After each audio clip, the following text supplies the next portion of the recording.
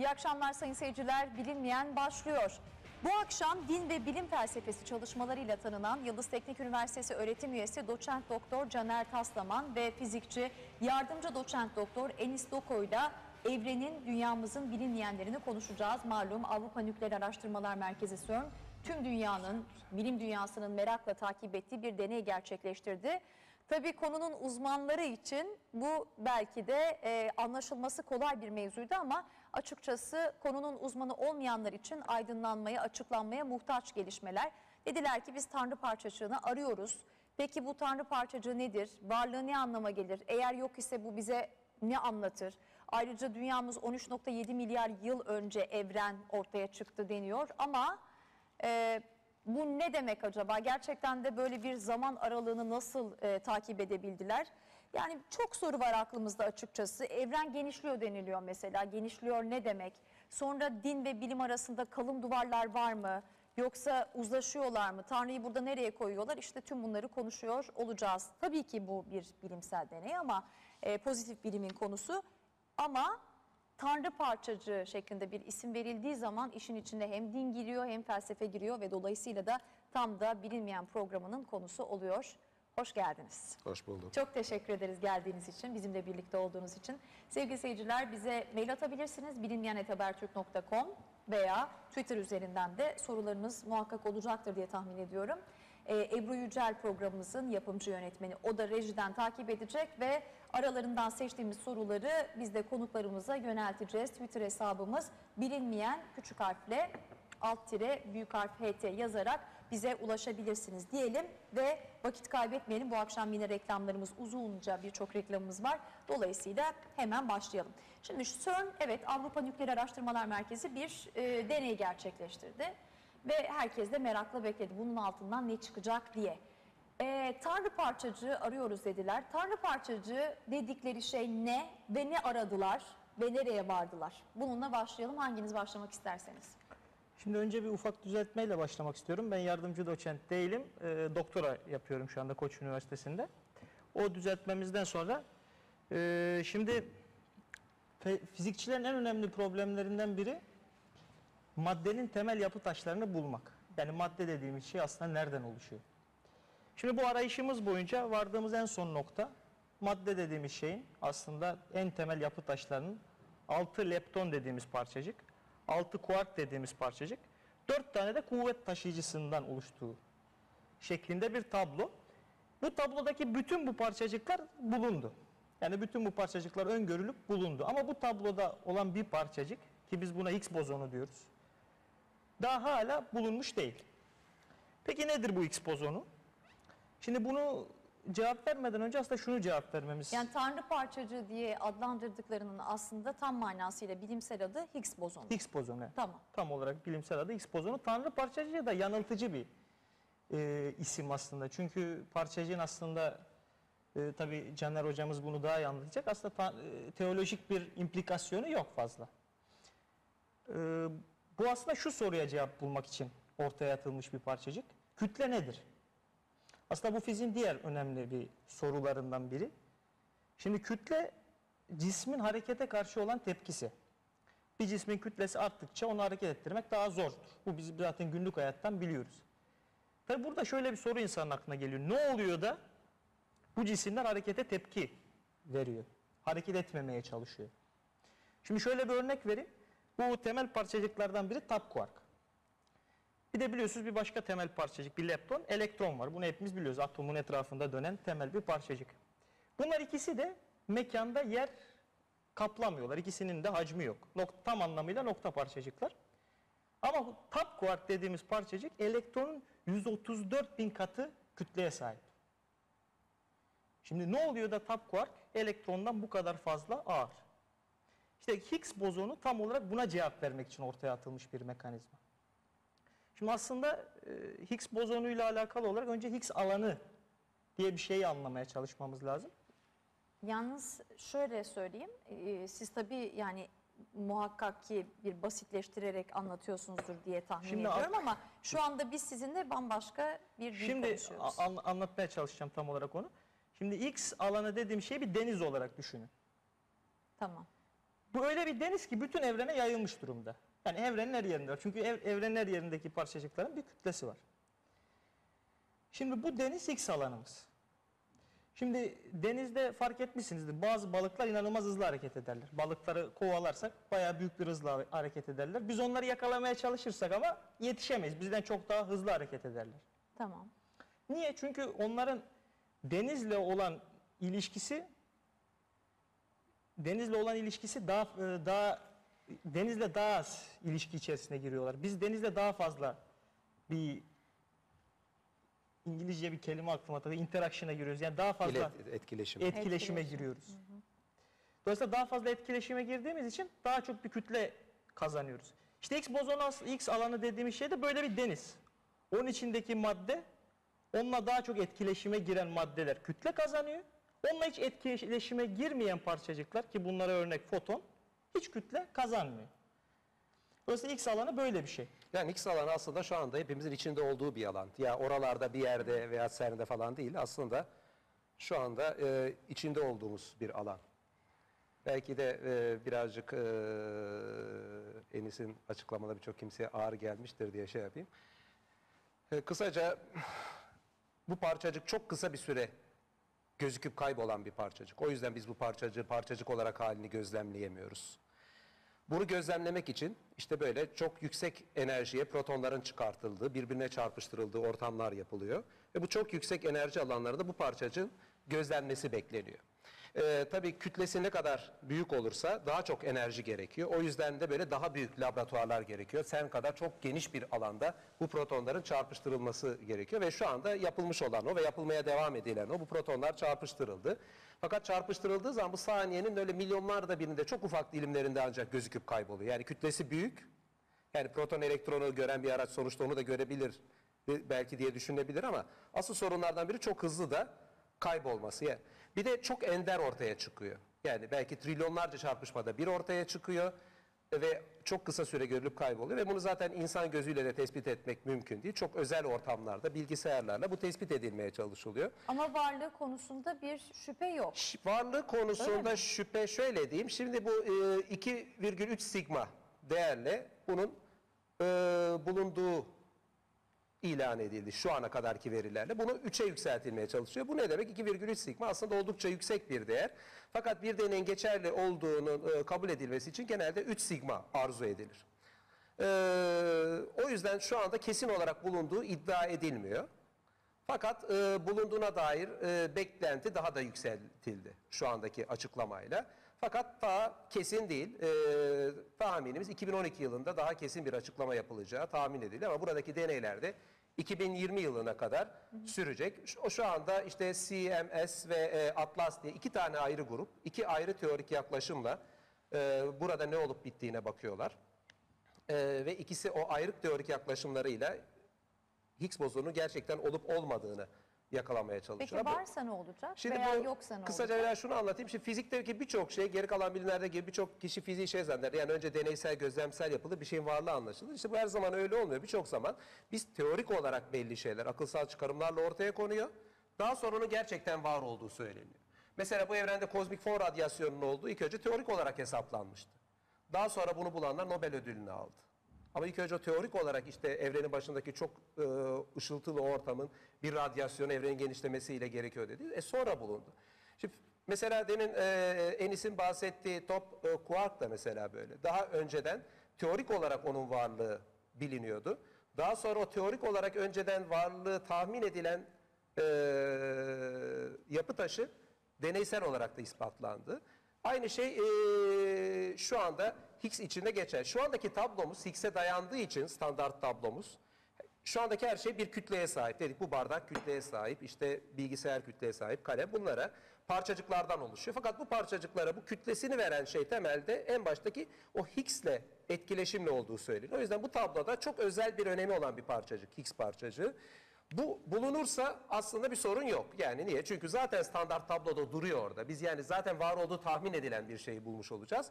E, bulunmazsa fizik açısından tabii daha sıkıntılı bir dönem olacak. Daha belki enteresan bir şeyler ortaya çıkacak. E, çünkü genel kabul aşağı yukarı fizikçilerin çoğunun ortak kabul Higgs'in olduğu yöndedir. Ender olarak e, Higgs'siz bazı tabloyu açıklama girişimleri olmuştur. Mesela işte vakum ortamından kütleyi alıyorlar farklı e, şeklinde bir teoriler ortaya atanlar olmuştur ama bunlar genel kabul görmemiştir. Bunun ispat edilmesi sadece genel beklentinin tatmin edilmesidir. Yani o zaman şimdiye kadarki ortaya konan bilimsel çalışmaların aslında doğru yolda olduğunu gösterecek eğer var ise. Evet. Yoksa başka şeyler, başka yollar arayacaklar ya da açıklamaya çalışacaklar. Peki tam manasıyla açıklamak istedikleri şey e, hani hep Big Bang falan da bu işin içine katılıyor ya. Yani evrene dair çok temel bir sorunun yanıtı mıdır bu? İşte evrene dair kütle niye? Ee, cisimlerin niye kütlesi var sorusunun yanıtı aslında. Yani evrenin direkt zamanda başlangıcıyla ilgili çok alakalı da bir şey değil aslında Higgs bozonu. Yani cisimlerin niye kütleye sahip olduklarını açıklamaya çal- çalışıyor. Ama tabii bu Higgs bozonu olmayan teorilerimiz de mevcut. Yani aslında bu deney şuna şuna karar verecek. Higgs bozonu içerilen içeren teoriler doğru mu? Yoksa bu teoriler yanlış mı?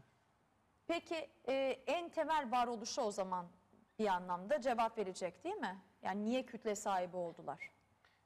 Şöyle diyeyim, fizikteki en temel sorulardan birine e, cevap verilecek ama istiyorsanız yani tabii bazı yanlış e, anlaşılmalar oluyor. Yani bu bulununca fizik artık bitecek, standart tablo işte ortaya konacak, bitecek. Bir kere yani fizikte yani zaten felsefeyle ilgili, biyolojiyle ilgili birçok soru var bilimde cevaplanması gereken ama fiziğin içinde de daha cevaplanması gereken çok çok temel sorular var. İstiyorsanız bunlara kısaca değineyim. Yani bu Higgs bulunsa da. Birincisi bizim mikrofizikle makrofizik arasında bir uyumumuz yok.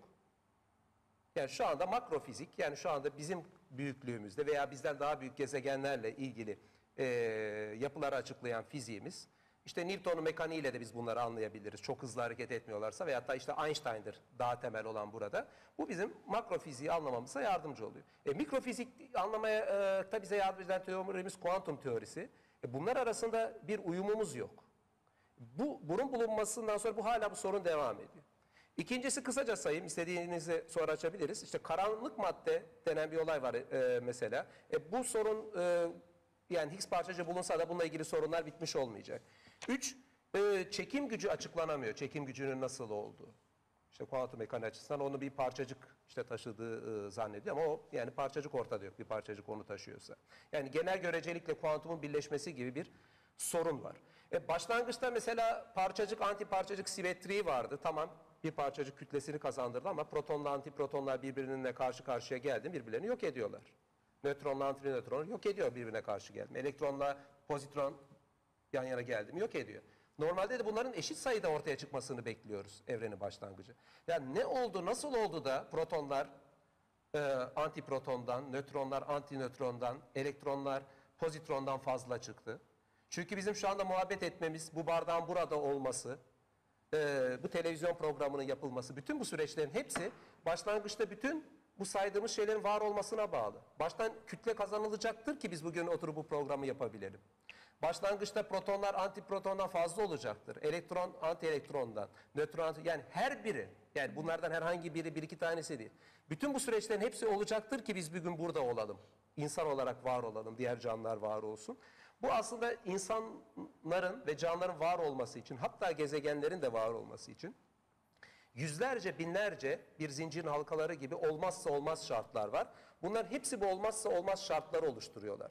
Ve bunların içinde bir kısmı da işte böyle çözemediğimiz bazı şeyler var. Çözebildiğimiz muhteşemliğine e, karşısında büyüleneceğimiz bazı noktalar var. Çözemeyip bu nasıl oldu diye enteresanlığına karşı hayret edip hala onun sorusunu merak ettiğimiz şeyler var. İşte bu simetrinin e, olmayan durumun nasıl çıktığı gibi. Yani bu Higgs bulunduğunda da mesela demin bahsettiğim sorular hala kalacak. Peki e, bu Higgs e, bozonuna niye Tanrı parçacığı demişler? Yani öyle bir isim vermişler ki çok çok büyük bir önem atfediliyor. Yani öyle bir hissiyat geliyor insana. Hani bunu çözdükleri zaman aman Allah'ım hani nereye ulaşacaksın?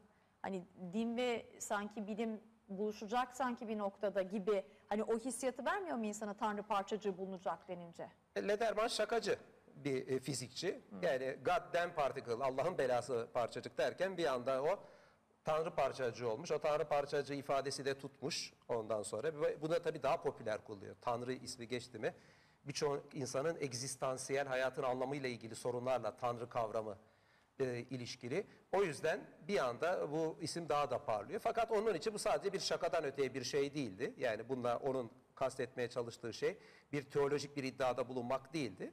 O sadece birazcık muzipçe yapılmış bir şakadan başka bir şey değildi. Yalnız o şakalar yapılıyor ya da yeri geldiği zaman dalgalar geçiliyor işte Hoyle'dı galiba yanlış hatırlamıyorsam sizin kitabınızda mı vardı Fred Hoyle muydu? Evet. Yani böyle dalgalar geçiliyor ondan sonra bir de bakılıyor ki hani ol dedi olduya sanki hani Big Bang teorisiyle falan yaklaşılıyor ve sanki bir örtüşme hali ortaya konuyor gibi ne dersiniz? Valla şimdi şöyle diyeyim tabii Fred Hoyle evvela şunu söylemek gerekiyor. Yani Big Bang teorisini e, evvela açıklamamızı mı istersiniz istiyorsanız yoksa felsefi bir sonuçlarıyla alakalı Hoyle'nin dediği. Ee, İstiyorsanız. Nasıl arzu ederseniz aslında belki çok kısaca Çok ondan kısa da bahsetmekte fayda var. Şimdi Big Bang teorisi bu evrenin nasıl oluştuğuyla ilgili bir teori. Çok kısaca anlatırsak bunun daha detaylarına da sonra girebiliriz. Girelim çünkü izleyicilerimiz e, bayağı bir soruyorlar Big Bang'e. Şimdi Yani evrenin başlangıcında Big Bang'e göre çok sıcak, e, daha doğrusu bir patlama diye mecazi anlamda bir patlama var. patlama. Aslında bu da Fred Hoyle'nin muziplikle söylediği bir şey. Aynen ne yani öyle. evren bir patlamayla mı oldu diye gırgırına demiştir. Ne yani bir Big Bang'le mi oldu demiştir. Sonra adı Big Bang kalmıştır. Ee, evrenin başlangıcında bir ayrılma var diyelim veya patlama diyelim. Fred Hoyle'nin e, meşhur ettiği o ismi kullanalım. O patlamayla beraber e, önce çok sıcak ve çok yoğun bir ortam var. O çok sıcak ve çok yoğun o ilk ortamın içinde o saniyelerin saniyenin çok daha küçük dilimlerini önemli olduğu bir ortamda işte bu atom altı parçacıklar demin şu anda CERN'de üzerinde bulunmaya çalışılan atom altı parçacıklar ortaya çıkıyor. Daha sonra bu atom altı parçacıklar dan e, atomlar ortaya çıkıyor. Başta özellikle hidrojen ve helyum yoğun bir ortam var. Çok sıcak ve çok yoğun bir ortam var. Çok sıcak ve çok yoğun bir ortam git tabii gittikçe genişliyor ve o genişlemenin etkisiyle gittikçe sıcaklık ve yoğunluk düşüyor. Sıcaklık ve yoğunluk düşerken burada yavaş yavaş ilk dönem yıldızlar oluşuyor. O ilk dönem yıldızların oluşmasında, o ilk dönem yıldızların içinde bu sefer bakıyorsunuz daha yüksek e, atom numaralı olan atomlar oluşmaya başlıyor. Ondan sonra ilk dönem yıldızlar patlıyor. O yeni atomları uzaya fışkırtıyorlar. O yeni e, toz bulutlar üzerinde yeni yıldızlar oluşuyor. Tabii bu bahsettiğimiz yaklaşık 14 milyar yıl önceden 13,7 biz 14 diyelim yuvarlak olarak 14 milyar yıldır bu açılma sürüyor. Şimdi biz geldik açılma devam ediyor. Biz programa başladığımızdan e, bu yana da daha açıldı. Daha büyük bir uzayda yaşıyoruz programın başlangıcından bu yana. E, mesela vücudumuzun en temel yapı taşlarından biri diyelim kalsiyum. Evet. E, ilk dönemde mesela işte bu yıldızların içindeki e, fırınlarda pişiyor. Mesela vücudumuzdaki demir, vücudumuzdaki mesela işte karbon, oksijen. Bütün bunlar bu ilk dönem yıldızların içindeki fırınlarda pişiyor. Aslında ilk e, orta çağda simyacı diye alay ettiğimiz kişiler rin yapmaya çalıştıklarını hani belli maddeyi alalım da şuna buna çevirelim. Aslında yıldızlar bir simyacı gibi adeta çalışıyor. Alıyorlar da başka bir atomlar onu belli işte e, kimyasal süreçlerin olduğu yani fiziki kuralların çerçevesinde yeni yapılara dönüştürüyorlar. Ondan sonra o yıldızlar da patlıyor. İşte yeni oluşan yıldızlarda bizim dünyamız oluşuyor. Ve bizim şu anda burada var oluşumuz, şeyimiz işte bütün bu süreçlere bağlı. Eğer orada o kalsiyum oluşmasaydı bizim işte diş, dişimiz oluşamazdı. Bir anda konuşurken kırılırdı. Vücudumuzda demir oluşamazdı. Birçok canlılar oluşamazdı. Mesela bu tahtanın burada olması işte ağaçla sarım. Ağaçta işte karbon atom olmadan hiçbir organik canlı olmaz. Ağaç olamazdı. Burada bu tahta olmazdı. Yani hiçbir varlık olmazdı. her şeyin İşin varlığı doğrusu şöyle bir şey 14 diyeyim. Birisi dese bağlı. ki alın şu çayı, hikayesini bana anlatın. Emin olun ki şu çayın hikayesi Big Bang'den başlayarak Higgs içinde o atom altı parçacıklar, leptonlar, kuarklar, o yıldızlar, o bütün hikayenin içindeki ufacık bir kopukluk, Higgs'i onun içine katmayalım, parantez alalım, en azından kütle kazanması diyelim. Higgs'li veya Higgsiz ama Higgs'li gibi gözüküyor. Kütle kazanması veya diğer atom altı, o hikayede ufacık bir şey çıkartın, şu anda bu çay da burada olmaz, biz de burada olmayız. Aslında bu hikaye bizim kendi varlığımızla ilgili. E, O yüzden de aslında bir yerde bizim açımızdan önemli olduğunu düşünüyoruz. Çünkü evren hakkında ne düşündüğümüz önemlidir. Niye? Çünkü biz evrenin bir parçasıyız. Evren hakkındaki düşüncemiz aslında kendi üzerimizde düşüncemiz üzerinde etkili olacak bir şeydir. Bunlara bir de bu gözle bakmak lazım. Peki Tabii. bilim dünyasının kesin ve net Big Bang'e dayalı kanıtları var mı? Yani kendi arasında bir e, tartışma içinde mi hala yoksa Big Bang teorisi evet net ve geçerli midir? Şimdi- yani yaklaşık 14 milyar yıl önce bir işte patlama diyelim bir patlama oldu ve evren öyle oluştu. Bu kesin ve net mi bilim dünyası için? Şimdi bilim dünyasında her şey aslında sorgulanır. Her şey sorgulandığı için şüphesiz ki bu e, Big Bang'in karşıtı insanlar da çıkar.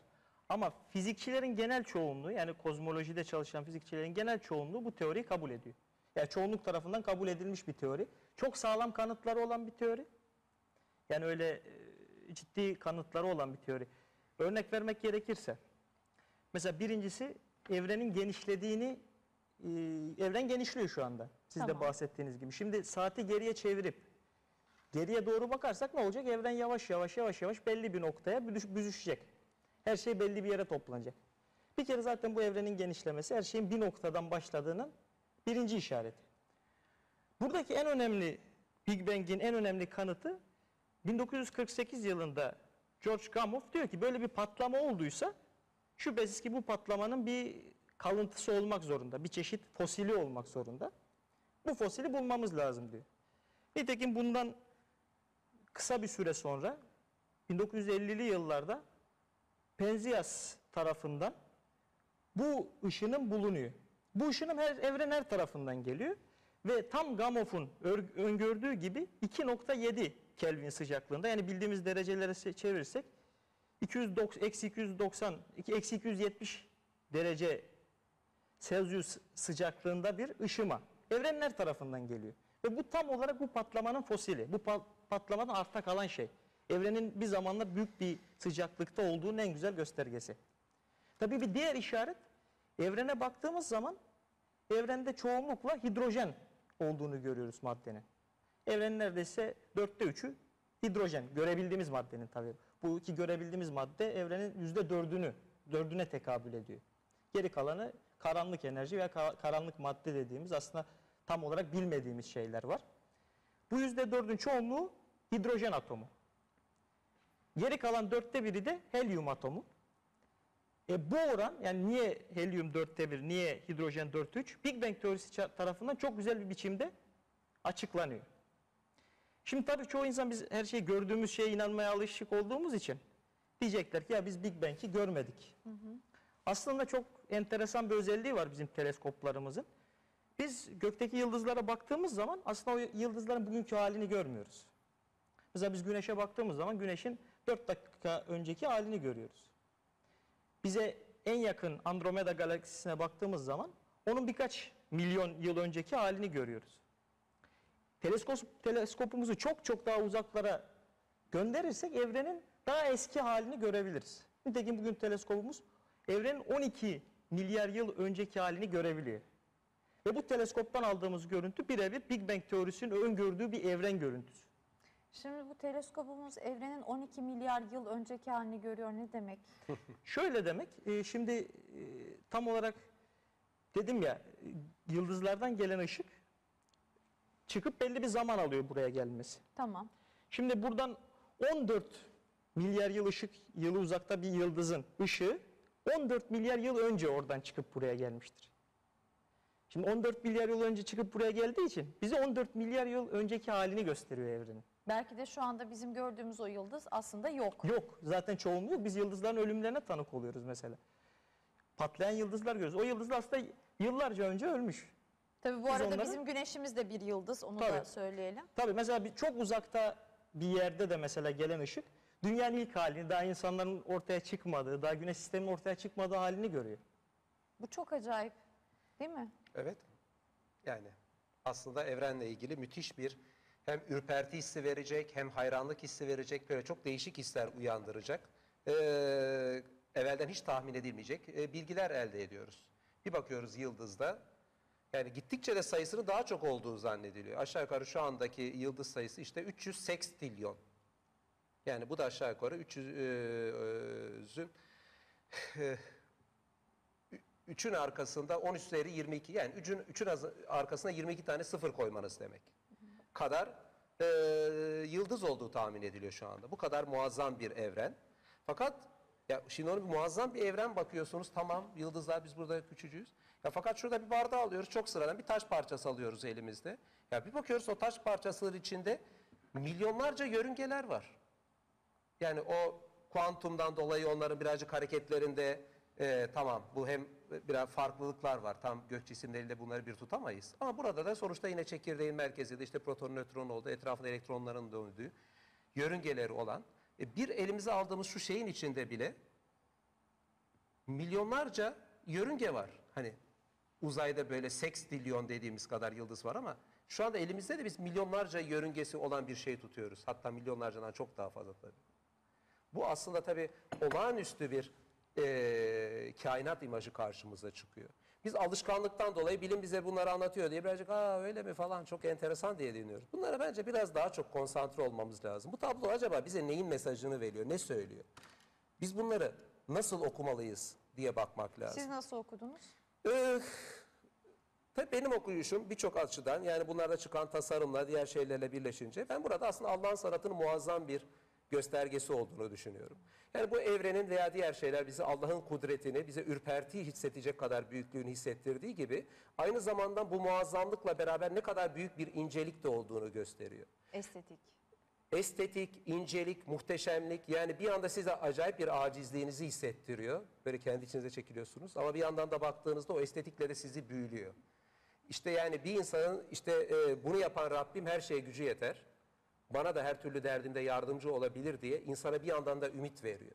Yani o sizi o dehşetiyle korkutmasıyla öyle bir karamsarlıkta bırakmıyor.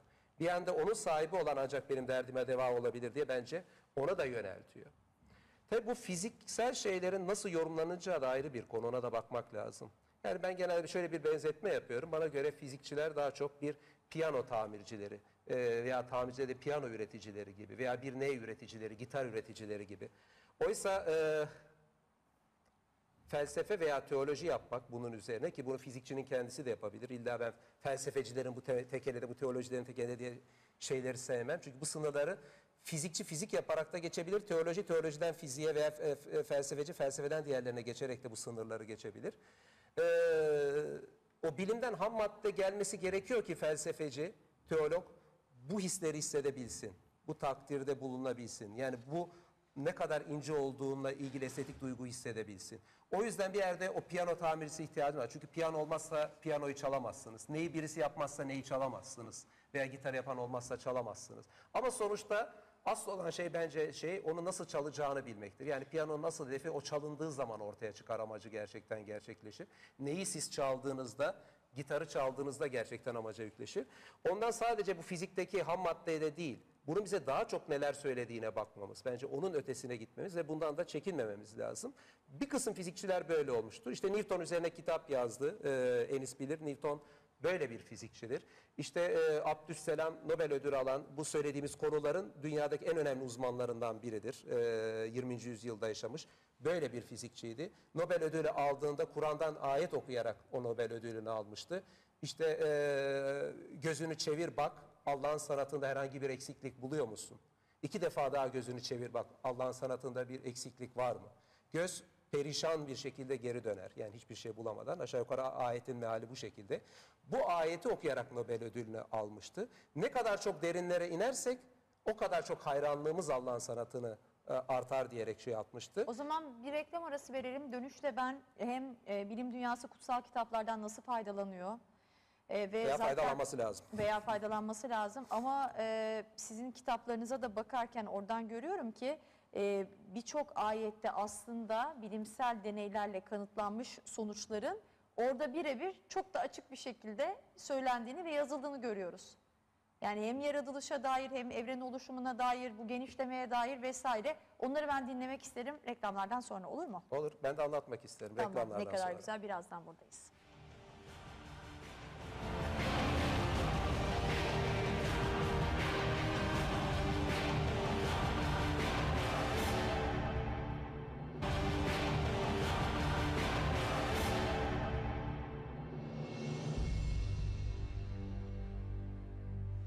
Evrenin bilinmeyenlerini konuşmaya devam ediyoruz sevgili seyirciler. Yıldız Teknik Üniversitesi öğretim üyesi doçent doktor Caner Taslaman ve fizikçi Enis Doko ile birlikteyiz ve nerede kalmıştık? Ee, Kur'an ne diyor ya da e, diğer kutsal kitapları da işin içine katalım.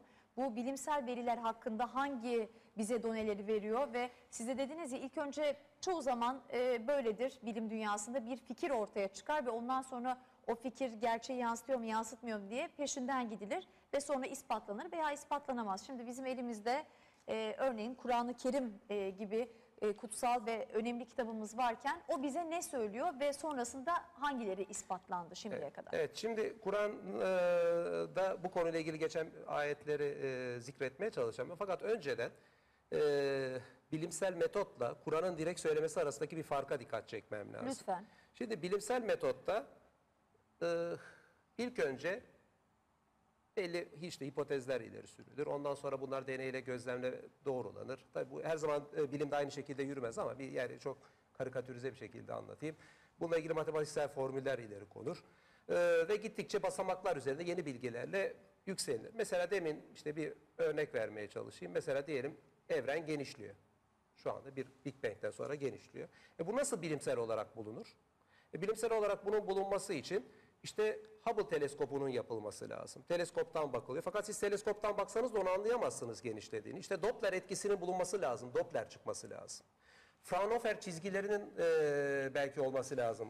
E, zemin merkezdeki şeyleri tanımamız için işte hidrojen helyum oranını evrende anlayabilmeniz için evrenin genişlemesi dışında. Mesela evrenin genişlemesi için ayrıca teorik olarak ortaya konmasındaki aşamalara bakarsanız Einstein lazım. Einstein'ın formülleri lazım ama Einstein'ın formülleri de yetmemiş. Lomet ve Friedman gibi iki tane e, ayrı bir deha lazım ki o formüllerin evrenin genişlemesini gerektirdiğini bulsunlar. Ondan sonra o teleskopun gelişmesi için bir maddi bütçe lazım. Teleskoptaki işte optikle ilgili şeylerin gelişmesi için İbni Heysem'den tutun Galile'den teleskobu geliştirenler lazım. Şimdi bunlar uçuca eklenir, eklenir, eklenir. Ondan sonra işte o bilimsel buluş yapılır. Ondan bilimsel e, buluşun doğasında evvelki bilgilerin, verilerin üstünde yükselmek, işte matematiksel not almalar yapmak, bunları sistematize etmek gibi şeyler var. Şimdi Kur'an metninde böyle bir şey yok. O açıdan Kur'an bir bilim kitabı değil. Fakat Kur'an'ın bunlarla hiç mi ilgisi yok? Tabii kainatın yaratıcısı evren hakkında bize bir sürü şey hakkında bilgi verirken bu Kur'an'ın içinde olağanüstü şeyler çıkmasına şaşırmamamız lazım. Aslında doğal olanı bunların çıkması. Fakat Kur'an bunları pat diye söylüyor, sonucu söylüyor. Ne diyor? Ee, Zariyat suresi 47. ayet. Ve evreni biz kuvvetimizle kurduk ve muhakkak biz onu genişletmekteyiz. Ve inna la musiyun yani evreni biz genişletmekteyiz. Her an olan bir genişleme olduğu söylüyor. Enbiya suresi 30. ayete bakıyorsunuz. Yerle gök bitişikti. Biz onları ayırdık diye geçiyor. Bu olağanüstü anlatımlar. Ve bu o kadar olağanüstü bir anlatım ki bir bakalım felsefe tarihine benim işte ana alanım felsefe. Felsefenin en temel, en tartışmalı konularından biridir. Bu evren sonsuz mu sınırlı mı diye. Bakalım felsefenin devlerine ne yapmışlar. İşte Aristoteles'e bir gidiyorsunuz. Evrenin ucunda böyle adeta demirden sınırlar var. Elinizi onun dışına çıkartmanız mümkün değil. O demir sınırlar sabit, statik. Newton'a geliyorsunuz ki bir daha kendisine hayranız. Ee, sonsuz bir evren tasavvuru var. Ee, ama bir bakın sonsuz bir evren tasavvuru var. Newton gibi düşünenleri bulabilirsiniz. Aristotelesçi düşünenleri bulabilirsiniz. Fakat sürekli genişleyen bir evren dikkat edin ikisinden farklı bir model. Statik Aristotelesçi sınırlar yok. Newton gibi sonsuz da değil. Arada bir model. Bunu ben çok iddialı söylüyorum. Kur'an dışında ortaya koymuş tek bir kaynak yoktur. Var diyen varsa işte alsınlar ortaya koysunlar. Ve bu felsefenin öyle kenarda köşede kalmış bir konusu değildir. Çok dev bir konusudur. O yüzden bunun söylenmesi öyle basit bir şey değildir. Ve Kur'an bunu pat diye doğrudan söylüyor. İşte isteyen Zariyat suresi açsın 47. ayet okusun. Enbiya suresi 30. ayet okusun. Veya Fusilet suresi 11. ay- ayete gelelim. İşte ev- e, göğün bir evvelden gaz hali olduğunu açıklıyor. Daha evvelden hatırlıyorsanız burada e, Enis işte hidrojen helyum dönemi olduğu özellikle başlangıçta hidrojen helyum olduğunu anlattı. Zaten ağır atomlar dedik o yıldızların oluşmasından sonraki evrelerde yıldızların içinde pişerek oluşmuştur. E, Başlangıçtaki o hidrojen helyum direkt bir gaz durumu oluşturuyor. Peki şimdi o surede e, tam ne söylüyor? Onu bir açıkça söyleyebilir miyiz ya da siz tam yani Ee, bir de gaz halinde bulunan evrene yöneldi ve ona ve yeryüzüne gaz halinde olan evrene yöneldi. Onun gaz halinde olduğunu vurguluyor. Ona ve yeryüzüne isteyerek veya istemeyerek gelin dedi. İkisi de isteyerek ve itaat ederek geldik dediler. Şeklinde geçiyor. Bayağı ayette. açık açık söylüyor işte. Muazzam. Yani evrenin o genişlemesi, yer gök bitişikti biz ayırdık. Yani var olan her şeyin bir birlik halinde olup da ayrıldığı bu en temeli. Yani bunlar Peki öyle. bu Big Bang'e bir atıf mı aynı zamanda? Tabii evrenin nasıl miyiz? oluştuğuna atıf yani e, Big Bang'e bakarsanız zaten anlatırken her şey bir aradaydı, ayrıldı ve şu anda genişliyor diye anlatıyoruz. E bakın işte tamamen. Peki ol dedi oldu kün fe yekün. O da herhalde her şeyin Ya o başlangıcına aslında dair. belki de en temel şeylerinden biri. Şimdi bakar bana deseler ki birisi sen İslam'a inanan bir insansın. İslam'ı geri kalan bütün inan şöyle diyeyim tabii te, e, Hristiyanlıkla Yahudiliği ayrı tutmuyorum. Onlar sonuçta aynı kaynaktan gelen inançlar. İslamiyet'in rakip inançlardan. Yani ne bileyim bir uzak doğu dinlerinden. Ee, mesela içinde reenkarnasyon olan yapılardan. Veyahut da e, bir materyalizmden üstün kılan şey nedir sence İslam'ı deseler? Ben derim ki birinci cevabım ontolojisi. Bu nedir? Varlık anlayışı. Bu varlık anlayışı e, da nedir? Allah her şeyin yaratıcısıdır. Allah her şeyin yaratıcısı olduğu için bu karşımızdaki evren Allah'a bağımlı bir varlıktır. Bu evrendeki her şey tasarlanmıştır. Bu evrenin bir başlangıcı vardır fikridir. Kur'an Allah ol deyince her şey olu verir söyleyince aslında buradaki temel söylediği şey şu karşımızdaki evren benim sanatım, bana bağımlı. Kendi kendine var olan bir şey değil diyor. Bu bir zorunlu varlık değil diyor. Bana bağımlı bir varlık diyor. Buradaki bilimsel verilerin, Big Bang'in diğerlerinin bunu güçlü şekilde desteklediğini görüyoruz. Nedir? Çünkü klasik materyalist izah bakalım tarih boyunca. Klasik materyalist izah tarih boyunca ne demiş? İşte evren karşınızda duruyor. Her şeyin açıklaması bu. Tamam. Herkes sonuçta bir şeyi sürekli bir varlığı kabul etmiş. Tek tanrı inancında olanlar Allah o sürekli varlıktır demiş. Ateistler de demiş ki evrendir demiş o sürekli varlık. Şimdi sürekli varlık her şeyin açıklaması değil de sürekli varlığın bir başlangıcı olamaz. Yani başlangıcı olan bir varlık sürekli var olamaz. Yıllarca ateizmin 1920'lerde bu anda Big Bang ortaya kondu. Yıllarca ateizmin savunduğu bir şey Big Bang'le bir işte başlangıcı olduğu gözüktü. Evrenin başlangıcı bir misket tanesine kadar indirgedi Big Bang teorisi. Bütün her şeyin çok sıcak, çok yoğun misket kadar bir yerde oldu ve sonra açıldığı bir şey. Yani materyalizmin tanrısını artık mecazi anlamda misketi söylüyorum. Bu kimse tam böyle misketi sanmasın. Ee, bir miskete indirdi Big Bang teorisi. Ya bu bir e, felsefi inancın tanrısına bundan daha zalimce ne yapılabilir yani? E, bu tarih boyunca iki tane temel inanç olduğunu görüyoruz. Tek tanrıcı inanca karşı felsefe, tek cidden materyalizm. E, materyalist alternatif, alternatif olma vasfını yitirince e, tek tanrıcılık dışında dışarıya ciddi bir alternatif kalmıyor karşımızda. Tabi sırf bu da değil. Tasarımla ilgili başka evrendeki deliller. Mesela Big Bang'e bakalım. Rastgele bir patlama mı Big Bang? Hayır. Çok düzenli bir patlama. Öyle bir patlama ki çok hızlı bir şekilde patlasa bütün madde her tarafa saçılacak. Çok yavaş olsa o patlama her şey bir anda birbirinin üstüne gelecek. Fakat bu çok hızlı patlamayla çok yavaş patlama arasında dengede patlaması gerektiğinin oranı 10 üzeri 60'ta bir. Peki ben size Bu şunu 10 üzeri soracağım. 60'ta bir anlatmam Belki lazım. de- yalnız. tamam, onu diyeyim, anlatın, Bir tane anlatın kum da. tanesini alın veya bir atom alalım. Rastgele bir atomu alın. Şurada bir yere saklayın. Peki. Şu masanın içine saklayın. Veya herhangi bir saklayın. Dünyanın herhangi bir yerinden de birine değil ki siz dünyadan rastgele bir atom çekeceksiniz.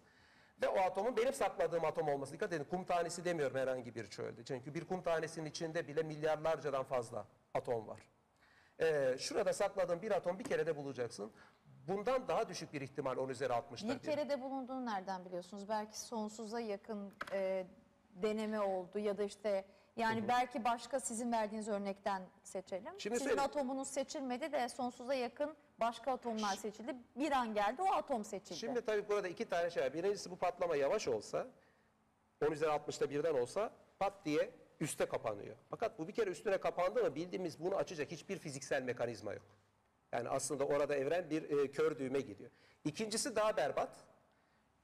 Hızlı patlama olursa sınırsız bir şeye yayılıyor madde. En sonunda öyle bir noktaya geliyor ki iki protonun arasındaki diyelim veya enerjinin arasındaki mesafe e, ufak tefek parçacıklar yine de çıksa e, ne bileyim yani İstanbul şeyle dünya ile işte Mars arası kadardan daha fazla veya dü- yani mecazi olarak söylüyorum. Tamam. Yani sonuçta bir ısı ölümüne yayılıyor belki madde. bunlar oldu. Olmadığını nereden Hayır biliyoruz? zaten onlar olsa ikinci bir patlama şansı yok. Yani bu patlamanın defalarca denenmesinin şansı yok. O bir kere de ilk denendiğinde eğer çökerse dediğim gibi bizim bildiğimiz fiziksel onu açacak bir mekanizma yok evrenin başlangıcında. Ama hızlı olduğu zaman madde öyle bir dağılıyor ki e, dağıldığı zaman e, zaten o bir daha toparlayacak da hiçbir şey yok. Çünkü o hızlı dağılma zaten yer çekiminin etkisinden tamamen kurtulup dağılmış oluyor. Yani o hassas ayar olmazsa olmaz bir ayar olarak orada gözüküyor. Yani Ve şimdi ben bu tabii daha- soruyu soruyorum. Hani zannedilmesin ki ben buna e, inanmıyorum. Hayır alakası Hayır, yok. Yani canım. benim de tüylerim diken diken eden bir durum ama haliyle insan böyle her konuda acaba öyle olabilir mi, böyle olabilir mi? Bir şüphecilik peşinde gidiyor. Burada Efendim? şey çok önemli. Şimdi Buyurun. evrenin zamanda başlangıcı var kelimesi çok önemli. Yani Big Bang'ten önce aslında öncesi yok. Yani ne mekanınız var, ne maddeniz var, ne zamanınız var. Yani ya öyle- zaman da Big Bang'le mi başladı? Tabii zaman da Big Bang'de başladı, boşluk da yok. Şimdi şöyle bir şey hayal etmeyelim biz. Madde yok, koca bir boşluk var. Böyle bir şey de yok. Boşluğun kendisi, yani boş alanın kendisi bile Big Bang'le birlikte başlıyor. Zamanın kendisi Big Bang'de başlıyor. Dolayısıyla Big Bang öncesinde böyle binlerce denemelerden bahsetmek mümkün değil aslında o noktada. Peki bazı izleyicilerimiz merak etmiş. Evren bir şeyin içinde mi genişliyor? Yani ya da tabii buna şunu da katacağız. O genişleme bir yere kadar mı gidecek? Nereye? Sonsuza kadar mı genişleyecek? Ne yapacak? Şimdi bunu anlamanın en kolay yolu öncelikle bir evrenin iki boyutlu gibi düşünelim. Evren aslında bir balonun yüzeyi gibi. Ama üç, bu dört boyutlu bir balon. Yüzeyde dolayısıyla bir dört boyutlu balon aslında üç boyutlu olur. Bizim evren olur. Bu balon gibi ge- genişliyor. Ama bir şeyin içine genişlemiyor. Evrenin kendisi bir balon gibi düşün. O balonun yüzeyi dışında bir şey yok. Ve bu balon durmadan büyüyor. Tamam. Ee, Şimdi- mesela şurada da e, diyor ki Kur'an 46 Akaf suresi gökleri yeri ve ikisi arasında bulunanları ancak gerçek üzere ve belirli bir süre için yarattık diyor. O zaman ne olacak? Genişleyecek, genişleyecek, genişleyecek. Evet. Genişleyecek. Anlatsın ben sonra. Ne diyor fizikçiler bu Şimdi işe? burada iki ihtimal var. Birincisi sizin dediğiniz gibi yer çekimi galip gelecek. Belli bir yere kadar genişleyecek. Ondan sonra madde kendi içine çökmeye başlayacak. Tekrar ufak bir noktaya çökecek. Bir ihtimal bu. Yani başta olan aslında sonda da aynı şey olacak. Sonra sona doğru aynı şey olacak. Belli bir noktaya kadar genişleyecek ve geri gelecek. Ama şu andaki elimizdeki gözlemsel veriler gösteriyor ki evrenin genişleme hızı zamanla artıyor. Aslında bu normalde Pardon, matematiksel bir orandan bahsetmiyoruz değil Yok. mi genişlemede? Yani nasıl genişlediğimize dair zaman ilerledikçe bu genişleme daha mı hızlı oluyor? Tabii zaman geçtikçe daha hızlı bir genişleme görüyoruz şu anda. Gördüğümüz kadarıyla evren zaman geçtikçe daha hızlı genişliyor. Genişleme hızı artıyor. Kara enerjiyi de buradan tahmin ediyorlar. Zaten Kara enerji ne kadar ürpertici bir şey, e, söz. E, bir de az önce de tabii bu genişleme meselesine girdik ama hani genişlediğimizi nereden biliyoruz? Nedir genişleme? Yani sonuçta evren sonsuz denir ya hep. Biz de belli bir noktaya kadar herhalde gözlemleyebiliyoruz. E zaten gidebildiğin nokta bir yere kadar ve dolayısıyla o genişlemenin var olduğuna nasıl bu kadar eminiz? şimdi bir ışık bir ışık şeyi alırsak herhangi ışık veren bir kaynak alırsak Tamam. bunu bize doğru yaklaştırırsak büyük bir hızla bu ışığın maviye kaydığını görürüz. Diğer taraftan bu ışık elimizde sizden uzaklaşırsak bu ışık bize kırmızı gibi görünür. O ışıkta bir kızıla kayma olur. Şimdi biz yıldızlara baktığımız zaman yıldızların tam olarak böyle kızıla kaydığını görüyoruz. Yani sanki bizden nasıl bir fenerle biz uzaklaşırken kızıla kayıyorsa ışık aynı şekilde yıldızlar bizden uzaklaşırken kızıla kayıyorlar. Buradan anlıyoruz ki yıldızlar, bütün yıldızlar yani bütün galaksiler bizden uzaklaşıyor. Tabii biz de onlardan uzaklaşıyoruz aslında sadece onlar bizden de her şey birbirinden uzaklaşıyor. Aslında tamamen bu gözleme dayanıyor. Evrenin genişlediği. Bir, birebir görebiliyoruz. Yıldızlar uzaklaşıyorlar. Anladım. Bu ilginç. Peki o Hep yıldızın... teorik olarak da öyle olması gerekiyor. Öyle olması. Ama e, Enis de tabii çok güzel anlattı. Yani biz bunu deneysel olarak da o gözlemlenen bir şey ama bu başlangıçta teorik olarak da öyle olması gerekiyor. Çünkü e, genişleme gibi bir mekanizma olmasa birbirine birçok şey çekim gücü uyguluyor. Sonuçta belli bir şeyler birbirine çünkü bir de hareket halinde gök cisimleri, hareket halindeki gök cisimleri diğerleri birbirine belli yaklaştıkları yerde çekim gücünün etkisiyle uzun yıllarda belli işte topaklıklara yani e, belli birleşimlere işte kara deliklere veyahut da belli birleşimlere dönüşmeleri, çökmeleri gerekiyordu. Yani teorik olarak da bu tip çökmelerin olmamasını evrende e, sağlayacak mekanizma genişlemenin olması. Genişlemeyi yok sayarsanız ortaya birçok paradoks çıkar. Yani Peki- bu e, çekim gücüyle işleyen bir evrende ne oluyor da madde çökmüyor gibi paradokslar çıkar. Yani deneysel şeyi tabii ki tek başına yeterlidir Enes'in söylediği gibi ama ek olarak müthiş bir teorik e, destek de var bu deneysel şey. Deneysel şeylere sınırlı değil. Şimdi şunu da merak ettim. Siz az önce e, dediniz yani yıldızlar ölüyor diye. Şimdi bizim bu bahsettiğimiz şey yıldızlar uzaklaşıyor uzaklaşıyor. Bizim için ölüm olan artık bizim onu göremeyeceğimiz bir noktaya mı gelmesi? Yoksa neden bahsediyoruz? Yıldızın ölümü nedir? Şimdi yıldızlar e, normalde enerjilerini tabii yerden almaları lazım. Işık nasıl biz elektrik veriyorsak ışığın Tamam. yanması için onların da enerjilerini bir yerden almaları lazım. Onlar enerjilerini hidrojenden alıyorlar. Yani kendi iç yapılarında hidrojen var. İki hidrojen atomunu alıp birleştiriyorlar. Burada bir helyum açığa çıkıyor. Bir de muazzam bir enerji açığa çıkıyor. Tabii yıldızların içindeki hidrojen sınırlı olduğu için belli bir noktada bu hidrojen tükenecek. Ondan sonra bu sefer helyum atomlarını yakmaya başlayacaklar. Tabii bu süreç yıldızların büyüklüğüne göre farklı duruyor ama belli bir noktada duracak. Sonuçta yakıtları tükenecek yıldızların. Yakıtları tükenecekleri zaman da çok büyük yıldızlarsa kara deliklere dönüşecekler. Bizim güneş gibi küçük yıldızlarsa beyaz cüce dediğimiz ki bu beyaz cüce belli bir süre daha ışık vermeye devam edecek ama en sonucunda bu da sıcaklığını kaybettiği noktada tamamen karanlığa dönüşecek. Şimdi Yani kara yıldızlar- delik dediniz, beyaz cüce dediniz bunların hepsi Bir de birer kırmızı dev koyun oraya. Beyaz Kırmızı cüce. dev. O da bizim güreşimizle alakalı. Ondan o bir kırmızı dev de yazın. kırmızı dev. Bizim peki güneşin sonu da böyle olacak herhalde muhakkak yani istisna var mı yıldızlar arasında? Bir istisna yok. Bütün yıldızlar er ya da geç Ortalama ölecekler. ömürleri ne kadar oluyor peki? Bu yıldızdan yıldıza değişiyor. Yıldızlar büyüdükçe ömürleri azalıyor. Çok küçük yıldızlar e, milyarlarca yıl yaşayabilirler. Siz güneşe küçük bir yıldız dediniz. Güneş küçük ama güneşten küçük yıldızlar da var tabii. Güneş ömrü uzun olacak yıldızlardan biri. Nitekim zaten bazı yıldızlar çoktan öldüler. Onlar ölmeseydi biz hayatta olamazdık. Peki her yıldızın böyle güneş gibi bir sistemi var mı? Her yıldızın böyle güneş gibi sistemi var. Yani o güneşten o yani yıldızdan öyle enerjisinden beslenen gezegenler, çevresinde dönen gezegenler böyle bir yapı düşünmeli miyiz diğer yıldızlar için? Diğer yıldızlarda benzeri sistemler oluşabilir tabii. Hepsinde vardır diyemeyiz. Böyle çok büyük bir gözlem yapmamız lazım ama bazı yıldızların etrafında tabii güneş benzeri yapılar var. O zaman başka Hatta dünyalarda olabilir. bazılarında daha enteresan iki güneş birbirinin etrafında döndüğü yani iki yıldızın birbirinin etrafında döndüğü sistemler de var. Yani iki üç yıldızın birbirinin etrafında yan yana olduğu birbirinin etrafında döndüğü sistemler var. Mesela en, en e, parlak gördüğümüz Sirius yıldızı böyle bir sistem. Gece bakarsanız en parlak yıldız Sirius yıldızıdır. Aslında onun etrafında dönen bir başka yıldız daha vardır. Peki bu kara delik bazen kara deliğe dönüşür dediniz ya veya işte beyaz cüce ya da neyse kırmızı dev. Ee, kara delikler konusunda bir şüphemiz var mı? Kara delik diye bir şey kesin var mı? Tabii e, gözlemlerimiz var. Şimdi kara delik zaten kara olduğu için görmek mümkün değil. Şimdi kara delik deyince insan ne düşünüyor? Niye kara anla Enis veya Hani ben böyle bilmiyorum Bermuda da. şeytan üçgeni gibi böyle diye içine çekiyor böyle kara delik ona yaklaştığın zaman seni yok ediyor filan gibi bir şey insanın aklına geliyor. Kara delik dediğimiz şey bu mu? Böyle bir şey mi?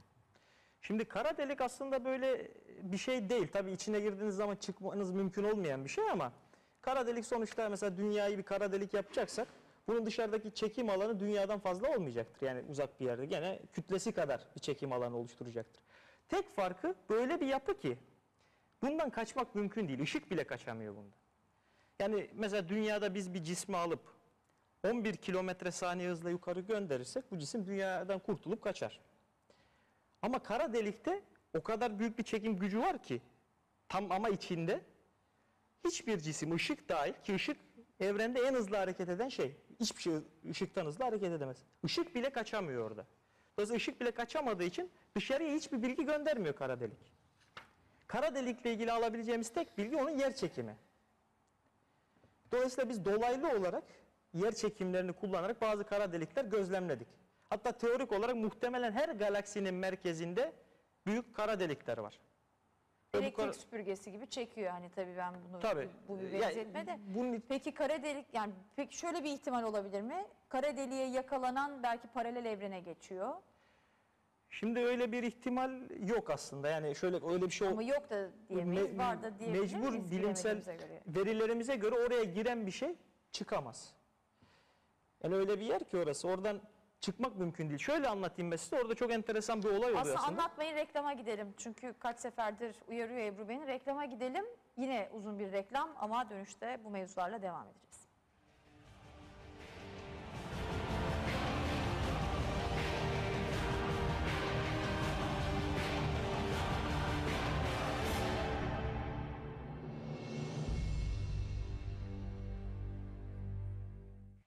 Bilinmeyen devam ediyor. Din ve bilim felsefesi çalışmalarıyla tanıdığımız Yıldız Tek- Teknik Üniversitesi öğretim üyesi doçent doktor Caner Taslama ve fizikçi Enis Doko ile konuşuyoruz.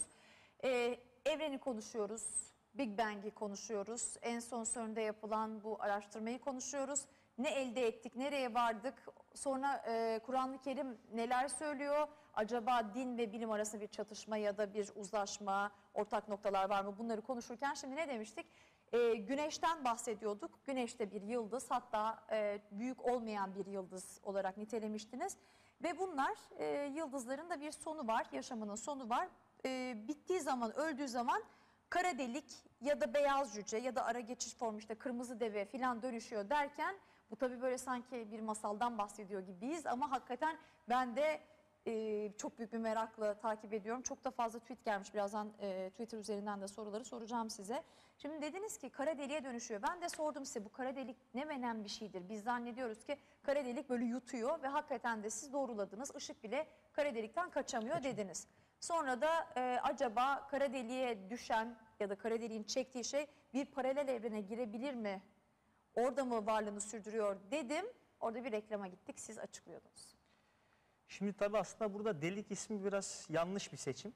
Wheeler'ın, fizikçi Wheeler'ın verdiği bir isim ama yanlış bir seçim. Daha ziyade buna kara cisim gibi bir şey dememiz lazım. Çünkü orada sonuçta tamam uzay zaman bir delik gibi bir hal alıyor ama sonuçta içeride bir cisim var. Ve bu bir cismin sıkışması sonucunda öyle bir şey oluşuyor. Yani orada böyle bir geçiş kapısı gibi bir şey değil. Biz oraya gireceğiz, başka bir yere çıkacağız öyle bir şey değil. Ha, e, solucan dediği, deliği dediğimiz bir takım teorik yapılar var. Solucan deliği apayrı bir şey. Orada bir yerden girip, evrenin bir yerinden girip başka bir yerine hatta başka bir zamana çıkmanız mümkün. Gene tabii bu evren içerisinde. Ama Olduğunu ayrı bir şey. ileri sürenler olmuş. Tabii olduğunu ileri sü- sürenler olmuş. Carl Sagan'ın bir teorisi. Fakat tabii ben bunlar için doğrusu şunu diyorum yani Carl Sagan da artı yazsa şey de yapsa bunlar bir kısmı e, Hawking'de kimi dönemlerde sonra bazı izalarından pişman da oldu. E, hafif böyle popüler fizik yazmaya meraklı olduklarından kaynaklanan şey. Yani ciddi bildiğimiz klasik fizik açısından bu iddiaların bir ciddiyeti yok. Yani şöyle bir şey de iddia edebiliriz. Yani bu binanın temelinde Gülver'in evi var. E, cücelerden oluşmuş bu binanın altında 500 bin kişilik şehir var diyebiliriz. Yani nereden olmadığını biliyoruz da diye biri diyebilir baktığında.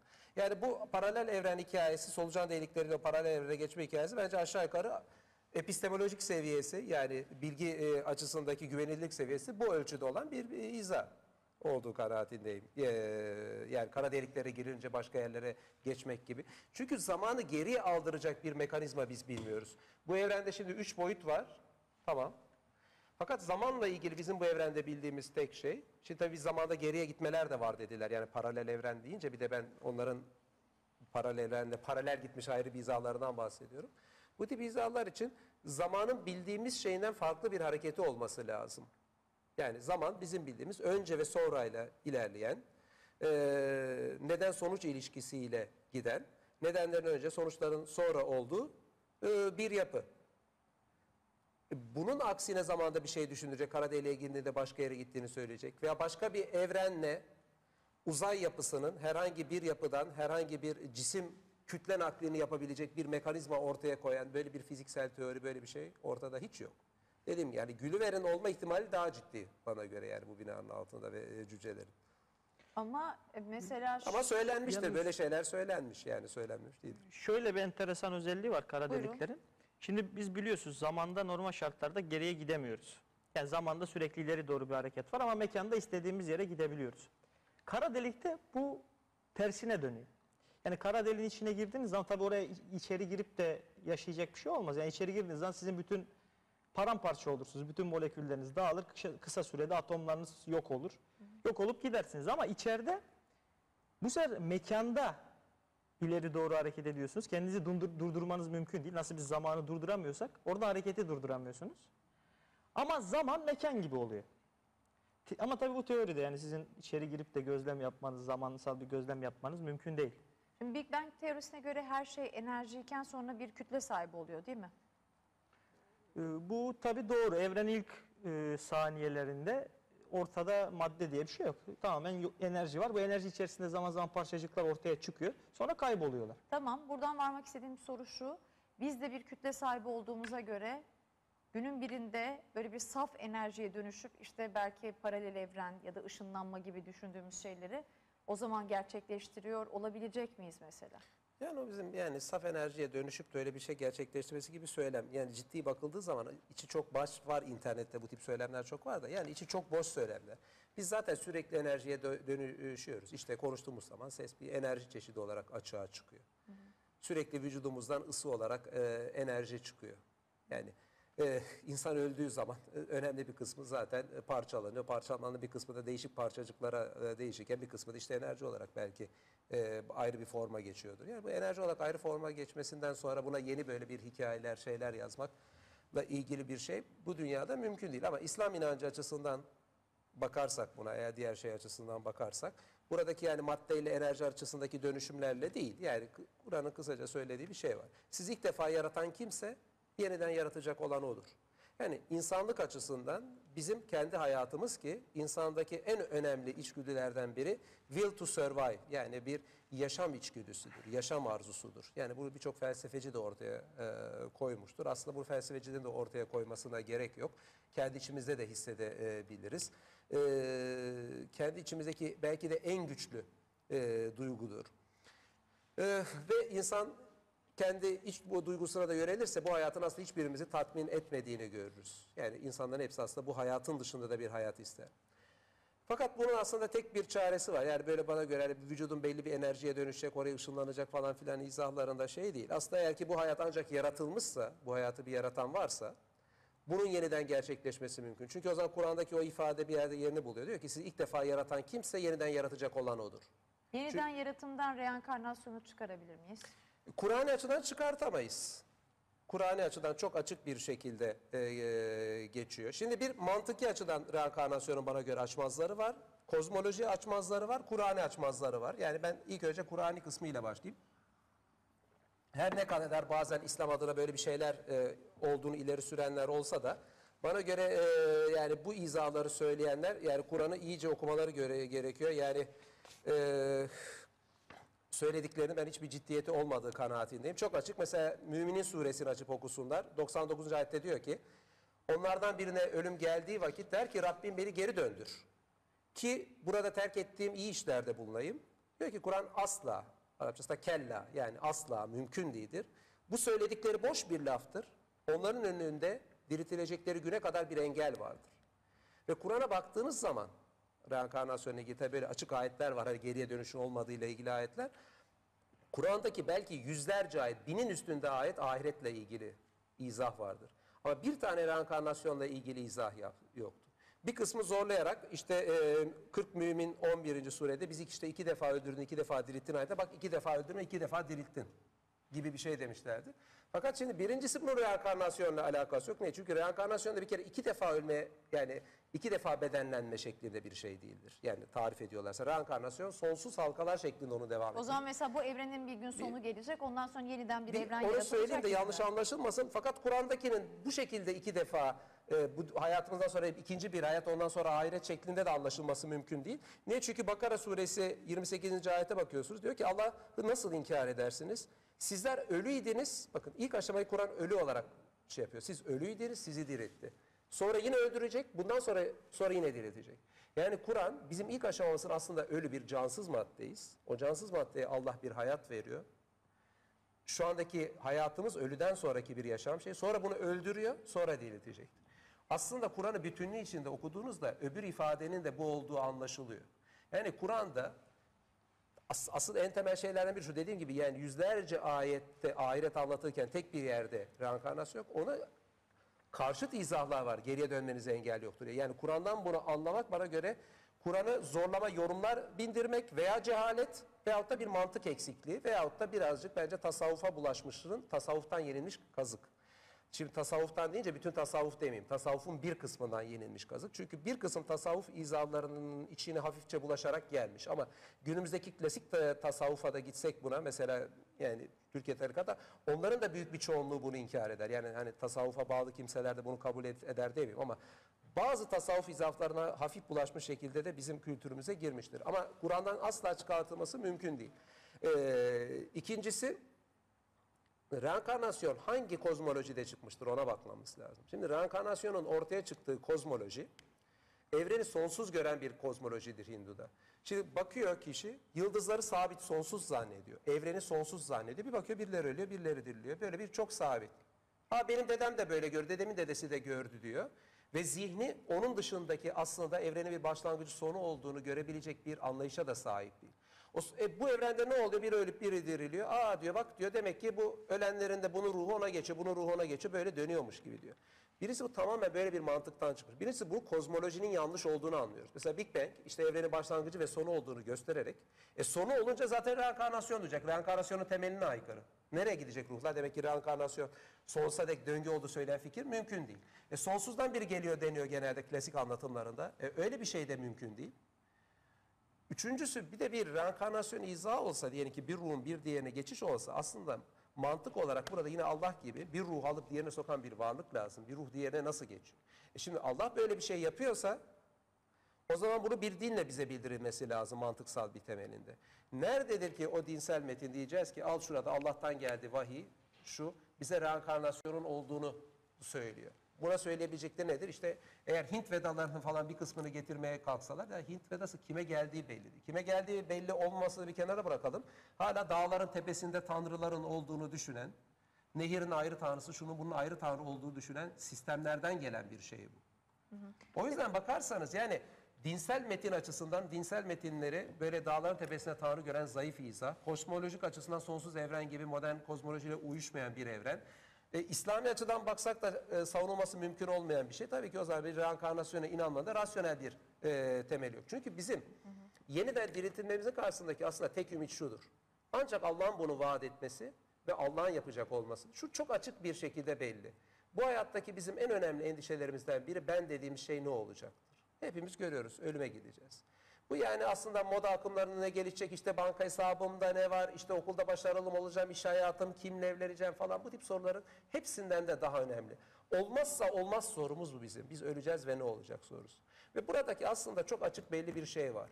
Ancak Allah bize yardım elini uzatırsa kurtulabiliriz. Çünkü insanın gücünün kendisini kurtarmaya gücü yetmediği çok açık ve net bir hakikat. Ve Allah için bunu çok kolay olduğu da net bir hakikat.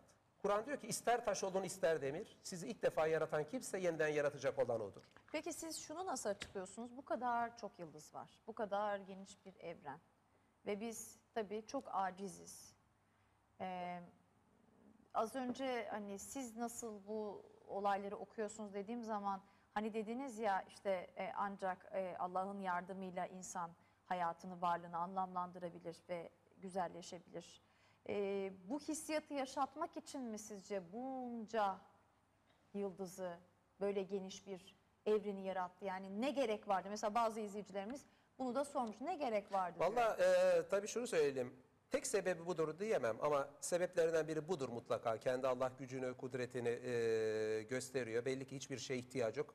Ama birçok sanatçı da birçok eserini verince hiçbir ihtiyacı yoktur yapar. Allah sanatını bir tek insanlara da gösteriyor demeyeyim. Kendi de Siz inanıyor musunuz başka dünya yani gezegenlerin, başka varlıkların, başka yaşamların, yaşam formlarının olduğunu? Bilmiyoruz. Yani işin doğrusu bilmediğimiz bir şey için diyemeyiz. Ama sonuçta Kur'an eee, bize en azından melek, cin gibi bazı başka varlıklardan bahsederek insan dışında varlıklar olabileceğine dair bir zihin inşa ediyor. O yüzden yoktur demek şey olur. Biz eee, şuna Hani bakarsak bizimki gibi dünyalar diye sorayım o zaman. yani bunu e, kabul veya reddetmek için bir doneye sahip değiliz elimizde. Bundan 200-300 yıl önce yani biz başka dünyayı bırakalım. Bu dünyadaki e, tür sayısı, canlı tür sayısı bildiğimiz e, birkaç bindi. Onlar işte yani bin yıl önceye gitseniz insanlar tek hücreleri bilmiyorlar. Şu anda biz biliyoruz ki vücudumuzda yaşayan tek hücreli oranı artık böyle milyonlarla, 10 milyon, 100 milyonlarda mü- müthiş bir sayılarla şu anda üzerimizde hatta bir, bir neredeyse bir Türkiye nüfusundan kat kat fazla üzerimizde bakteri var.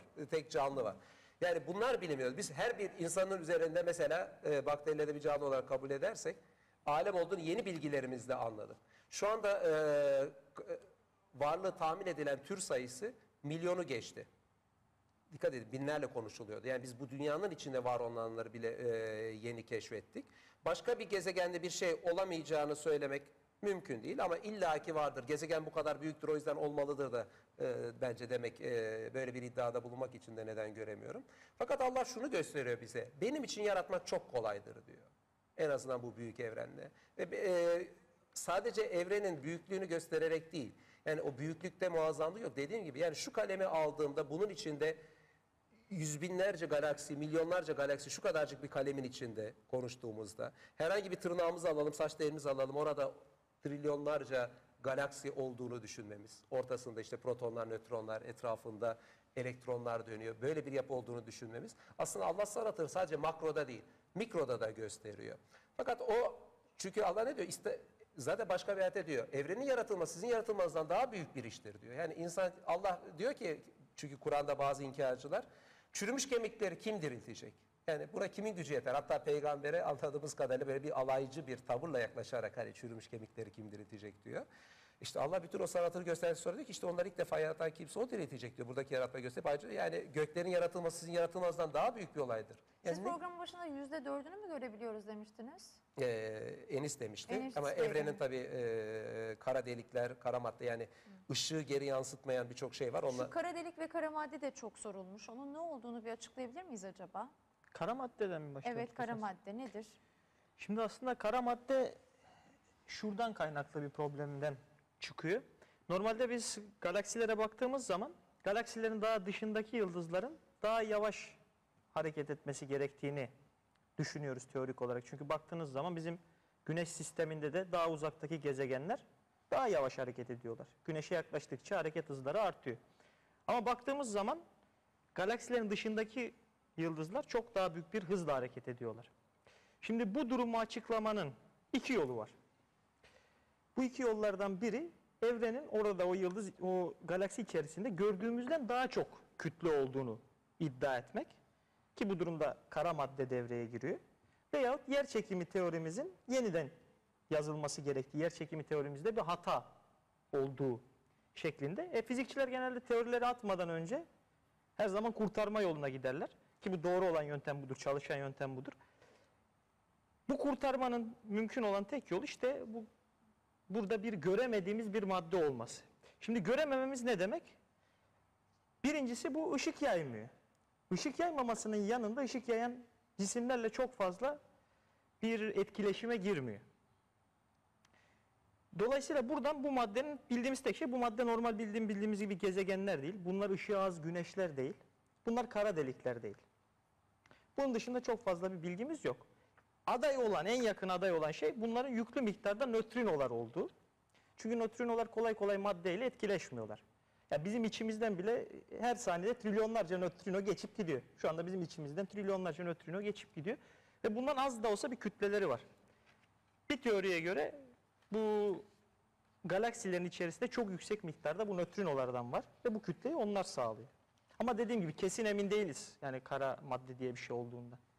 Yani yer çekimi sadece teorimiz biz ne yanlış olduk- da olabilir. Anladım. Yani biz öyle bir isim veriyoruz sadece. Ama tabii yani Enis'in dediği gibi hakim görüş olduğu Hakim yönünde görüş. Enis'in dediği gibi yani büyük oranda hakim görüş. Peki karanlık enerji dediğiniz yine aynı şey o zaman. Öyle mi? Karanlık enerji daha başka bir problemi çözmek için devreye giriyor. Demin evrenin genişleme hızı artıyor dedik. Normalde bu beklediğimiz bir şey değil. Çünkü her şey birbirini çekiyor biliyorsunuz yer çekimi teorisinden dolayı. Bizim beklediğimiz şey bu hızın zaman içerisinde yer çekiminden dolayı durması, yani azalması ve geriye dönmesi. Bunu açıklamanın yani bu ivmelemeyi açıklamanın yollarından biri evrende bir kara enerji yani evren içerisinde bu evrenin genişlemesine neden olan bir çeşit enerji olduğu şeklinde bir açıklama vermek. Buna bazıları vakum enerjisi de diyor işte evrenin tamamına yay- yayılmış olan bir çeşit enerji olduğu yönde ama bununla ilgili de hiçbir bilgimiz yok. Yani bu nasıl bir enerjidir? Ya o yüzden zaten kara, kara ya da karanlık diyoruz. Hiçbir şey bilmediğimiz için ve göremediğimiz için. Peki eee, şimdi çok fazla şuna dair soru gelmiş. Eee, madem her şeyin bir başlangıcı var ve aslında başlangıcı dair de eee, Kur'an'da ayetlerde bize bazı bilgiler veriliyor. O zaman sonuna dair de ve eee, bilimsel öngörüler dahilinde hangi noktalarda örtüşüyor buna dair çok soru gelmiş. Sonra eee, Kur'an'da güneşimizin sonuyla ilgili olarak bir açıklama var mı diye eee, bir soru gelmiş. Eee, Onları herhalde uzun uzadıya e, konuşmamız gerekiyor. Hepsini e, söyleyeyim. Şimdi evvela şunu söyleyelim. Çünkü piyasada ortaya geçenler o kıyametin tarihi şudur, burada geldi, ben buldum diye e, dolaşan e, New Age'cilerden tutun, böyle İslam adına ortada konuşanlardan bir sürü kişi var. Evvela bir onlara cevap vermek isterim. Şimdi bunlar için diyorlar ki Kur'an'da kıyamet kelimesi genelde kıyamet aslında bir Türkiye terminoloji biraz yanlış geçmiştir Türkçe'ye. Kıyamet aslında kıyam, namazı kıyam gibi ayağa kalkmak. Bu ölümden sonra yeniden diriltilişi anlatır. Saat, evrenin sonu içinse saat ifadesi kullanılır. O saat başlarına geldiğinde. Fakat saatla kıyamet bir artık yani bu saatle evrenin sonu gelip sonra kıyamet diriltiliş oluyor diye. Bizim Türkçemizde aslında o saati kıyamet saati diye anarız. Yani bu iki kavram aslında birazcık karışmıştır. Evvela onu bir belirteyim. Onu Evet. belirttiniz. Yine reklam arası vermemiz Girsin gerekiyor. ondan sonra biz Ondan sonra evrenin kesmeden uzun uzun konuşacağız. Birazdan edelim. buradayız.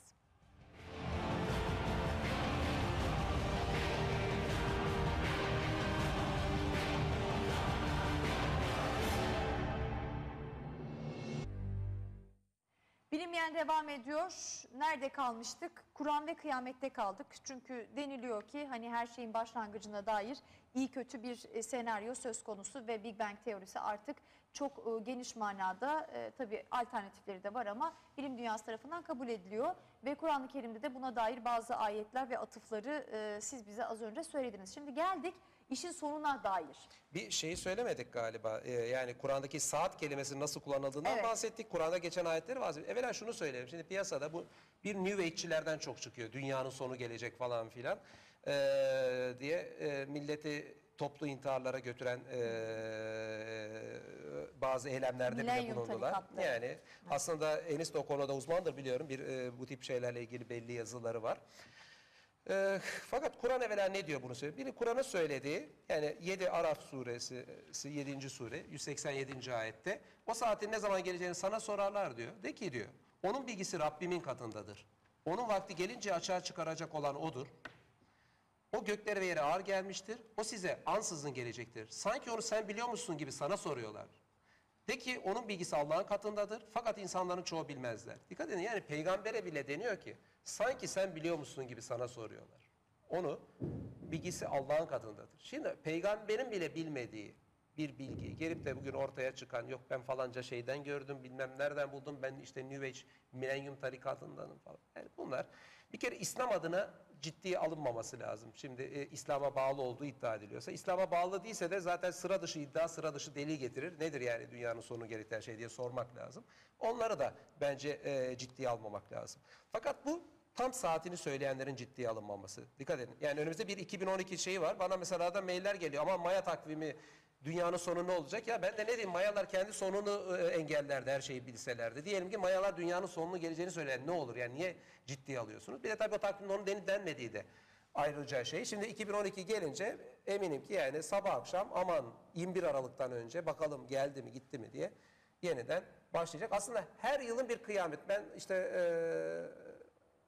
falanca e, Nostradamus'tan işte şeyi çıkardım 2000 olacak. Yok 99 olacak. Yok bilmem kaç olacak. Aşağı yukarı her yılı bir kıyamet tahmincisi var. Evvela bunların hem bilimsel açıdan hem İslami açıdan ikisi açısından bir ciddiyeti olmadığını söyleyelim. Peki İslamiyeti açısından ciddiyeti olan ne? Birisi şu çok büyük bir iddia. Kur'an'da baktığımız mesela 34 Sebe suresinin 3. ayette o saat bize gelmez. Yani o kıyamet kopmaz. Bu dünyanın sonu gelmez diyorlar. Şimdi aslında klasik materyalist görüş şöyle olmuştur birçok zaman. Yani bu evren ezelden bir olduğu itibariyle dünyayı da ezeli. Bakınca dünyanın böyle toprak böyle bayağı bir dibe gidiyor. Ya bu dünya nasıl yok olur? Bu yıldızlar benim dedemin dedesinin dedesi de onunla gözleri nasıl yok olur diyorlar. Ve e, bunun yok olacağına dair bir fikri Nasıl ki o çürümüş kemikleri kim dirilteceği böyle küçümsemeyle yaklaşıyorlar. Aslında görüyoruz ki peygamberimize karşı adeta böyle bir yaklaşım olmuş.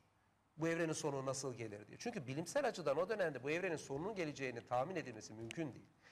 Peygamberimiz ve inananlarsa yani bu evreni yaratan Allah onu yaratmaya gücü yeter şeklinde bir imanla aslında bunu anlıyorlar evrenin sonu geleceği. Fakat bugün baktığımızda evrenin sonu geleceği artık çok bilimsel bir gerçek. Demin işte işte Enis söyledi yani Big Bang'e göre genişliyor ya bu çok geniş bir alana yayılıp yıl söylemi olacak ya yer çekimi galebe çalıp sonu gelecek. Mesela evrenimiz açısından. Ya da güneş ölecek, enerji Ha, bitecek. bizim güneşimiz açısından zaten güneşimiz önce kırmızı deve sonra beyaz cüceye e, dönü- dönüşecek bir yıldız tipi olduğu biliniyor.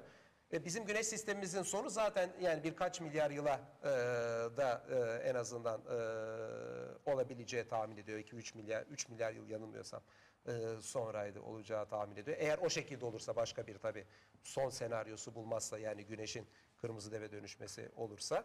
Yani artık dikkat edin bu evrenin ve güneş sistemimizin ve dünyanın sonu geleceği tartışma dışı. Artık ateist herkes kabul ediyor. Fakat buradaki hemen bir İslam'ın iddia ettiği bir şeyin hemen hakkını vermek lazım. Bu tarih boyunca materyalistlerin iddiası mıydı böyle? Hayır o bugün artık kaçınılmaz olunca kendilerini ona adapte etmeye çalıştılar.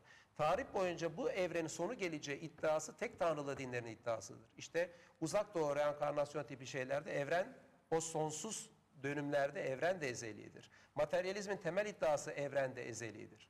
O yüzden aslında bu evrenin sonucunun Kur'an'da söylenmesi çünkü Kur'an'daki belli şeyi takdir etmemiz o dönemdeki bilgi seviyesine gitmekle gerçek seviyede e, olabilir. Peygamberimizin dönemine gittiğimizde bakıyoruz ki çölde yani çok ilkel sıradan bir ilim seviyesi oldu. Hatta Kur'an'da hep şey der sizler evvelkilerin gücünde bile değilsiniz peygamberimize. Yani peygamberimizin dönemindeki e, o kavmin e, ilim, bilgi, sanat birçok açıdan seviyesi kendinden önceki kavimlerden bile geri. Yani bir eski Yunan gibi değil. Yani başka birçok yer gibi değil. Yani Sümerler gibi değil, şunlar gibi değil, bunlar gibi değil. Yani oldukça geri. Şimdi o dönemde, o dönemin şartlarında bunların söylenmesine bakmak lazım. Yani şunu demek lazım. Yani o toprak bu Kur'an'ı meyve veremez. O zaman bakmak lazım ki bu Kur'an'ın çekirdeğinde iş. Yani o çekirdeği de yani eee, sonuçta kendisini özü bir yerde o özü de bir yerde Allah'tan vahiy olduğunu söylüyor. Ha Kur'an'da evrenin sonuyla ilgili neler söyleniyor? İşte mesela güneşi de ezeli görülüyor evvelde. İşte Şintoluğa bakalım. Güneş temel bir tanrıdır. Hatta e, hala törenlerinde güneşin içindeki tanrı çıkıp Japon imparatorunun içine girdi şeklinde iddia var. Şimdi güneşi tanrı gören Jack şekilde evvelden inançlar ortaya çıkmış. Yani güneşin sonu geleceğini söylemek ne, gibi, ne mümkün? 81 Tekvir suresi 1. ayette işte e, güneşin nasıl dengesinin bozulacağı sona doğru gideceği söyleniyor. Ne diyor? E, güneş dolandığı zaman şeklinde bir ifade geçiyor. Başka e, bir de başka bir ayet var Ama güneş aslında. dolandığı zaman E, bir de şeyde de e, Yasin nasıl suresi çıktı? Şimdi o ifade güneşin dengesini kaybedeceği şekilde bir ifade. Aslında tam sö- ama başka bir ayette Yasin suresinde de e, güneş de bir e, son bulacağı yere doğru akıp gitmektedir. Bir karar yerine doğru gidiyor. Aslında burada başka bir şey de var. Şimdi güneşimiz evvelden sabit zannediliyor. Dünyamız etrafında e, pardon yani dünyamız ortada birçok insan güneş etrafta dönüyor zannediyor. Dikkat edin kısır döngülü bir hareket. Daha sonra birçok insan güneş sabit dünyamız etrafında dönüyor sandı. Fakat şu anda biliyoruz ki aslında uzay sisteminde hareket eden bir güneşin etrafında dünya dönmektedir. Yani güneş öyle statik bir yerde durmuyor. Güneş bir yere doğru gitmektedir. Yani ilk önce zannedildiği gibi kısır bir hareket değildir kendi yerinde dönmek. Sabit durmada değildir. Gitmeli bir hareketin etrafında biz dönüyoruz. O yüzden Kur'an'daki ayette, Yasin suresindeki ayette güneş de işte duracağı yere doğru gitmektedir şeklinde ifade edilmesi Tekvir suresi dışında bence gayet önemli bir bilgi. Yani ciddi şekilde e, dikkat edilmesi bilgi. Başka bir ayet Mürselat suresinde yıldızlar söndürüldüğü zaman geçiyor. E şimdi bakalım biz Aristoteles'in sistemi 17. yüzyıla kadar işte batının da temel sistem kabul edildiği gibi yıldızlar sonsuzdan bir yakıtla yakılmış. Bakın dikkat edin. 17. yüzyıla kadar diyorum. 17. yüzyıla kadar geçerli bir kozmoloji sisteminde yıldızların sonsuzdan biri var olan bir yakıtla yakıldığı düşünülüyor. Yani yıldızların sonunun başının olduğunu söylenmesi böyle müthiş bir e, inanılmaz bir şey gibi e, gözüküyor. Yani bunların bir sonu nasıl gelir? Ha, inananların birçoğu ancak Tanrı yok ederse olur diyorlar. E zaten materyalistler sonunu e, kabul etmiyorlar. Fakat Kur'an o dönemde işte yıldızların söndürüleceğini söylüyor. Başka yerde işte e, ayrı bir kelime kullanıyor. Yıldızlar için Kur'an ne? Bana göre kevkep kelimesi kullan yıldızlar diye tercüme ediyor ama daha çok gezegenler için kullanıldığını zannediyorum. İşte gezegenler dağıldığı zaman diye ayrı bir e, kevkepin dağıldığı zaman diye geçiyor. Başka yerde baktığımızda denizlerin mesela kaynatılmasından bir büyük depremden bahsediliyor dünyamızın sonuyla ilgili. Yani Kur'an aslında hem dünyanın hem evrenin hepsinin sonundan bahsediliyor. Peygamberimiz döneminde de aslında ben mağma tabakası diğerlerini pek bildiğini zannetmiyorum. Gerçekten bir deprem anında mağma işte denizden de birçok yerden fışkırıp denizler kaynar gibi olur. Peki bu genişlemenin mesela tersine dönmesi anında, zamanında e, ortaya çıkacak olaylar böyle mi olacak? Yani bilimsel açıdan. Şimdi pardon ben bir şey diyeyim de anlatırsa yani aslında bizim bu şimdi geze- gezegenimiz bizim şimdi şöyle diyeyim. E, Enis'in anlattığı genişleme ve büzülme bütün uzayla alakalı. Bu güneşimizin son bulması veya dünyadaki olay bu bütün geniş uzaydaki ufak bir noktayla bizim güneş sistemimizle alakalı. Yani bizim güneş sistemimizin sonunun gelmesi için böyle bütün evrenin büzülmesi gibi bir şeye ihtiyacımız yok. Anladım. Öncelikle bizim e, Biz bu yani ama Kur'an'da şimdi Kur'an'da yıldızlar devam eder. söndürüldüğü zaman dendiği zaman dikkat edin yıldızlar söndürüldüğü aslında da bütün evrene bir atıfa dönüşüyor. Evet. Yani Kur'an'da sırf e, dünyamızda olacak bir sonla ilgili değil, bütün evrende olacak bir sonla ilgili bir atıf var. Zaten yani bu evrenin genişlemesi, büzülmesi olayları çok çok milyarlarca yıl sonra olacak olaylar. Yani onlar zaten olmadan önce muhtemelen dünyada yaşam çoktan bitmiş olacak. Peki Kur'an-ı Kerim'de e, dünya ile evrenin aynı anda mı yok olacağı e, söyleniyor? Yani bir zamanlamanın örtüştüğünü biliyor muyuz? Yoksa bunların farklı zamanlarda olabileceğini mi düşünmeliyiz? Ee, tabii benim anlatım tarzından anladığım yani aynı zamanda olacak. Yani çünkü mesela yıldızlar söndürüldüğü zaman diye geçiyor. İşte gezegenler dağıldığı zaman e, yani bu ifadelerin beraber geçmesi ben hepsinin sanki bir arada olacağı izlenimine kapılıyorum. Fakat tabii şunu da bilmek lazım. Buradan bir yerden izafiyet teorisine de bir geçiş yapabiliriz. Ee, şimdi biz izafiyet teorisinden şunu biliyoruz ki ee, değişik noktalarda değişik zaman algısı olur. Yani zaman mutlak herkesi bağlayıcı bir şey değil. Bu insanlar için bile böyle olunca izafiyet teorisinden anlaşılan Allah'ı bağlayan bir zamanı düşünemeyiz. İzafiyet teorisini basitçe bir anlatacak olursak. Ee, evet basitçe ne kadar anlatabilirse anlatmaya çalışayım.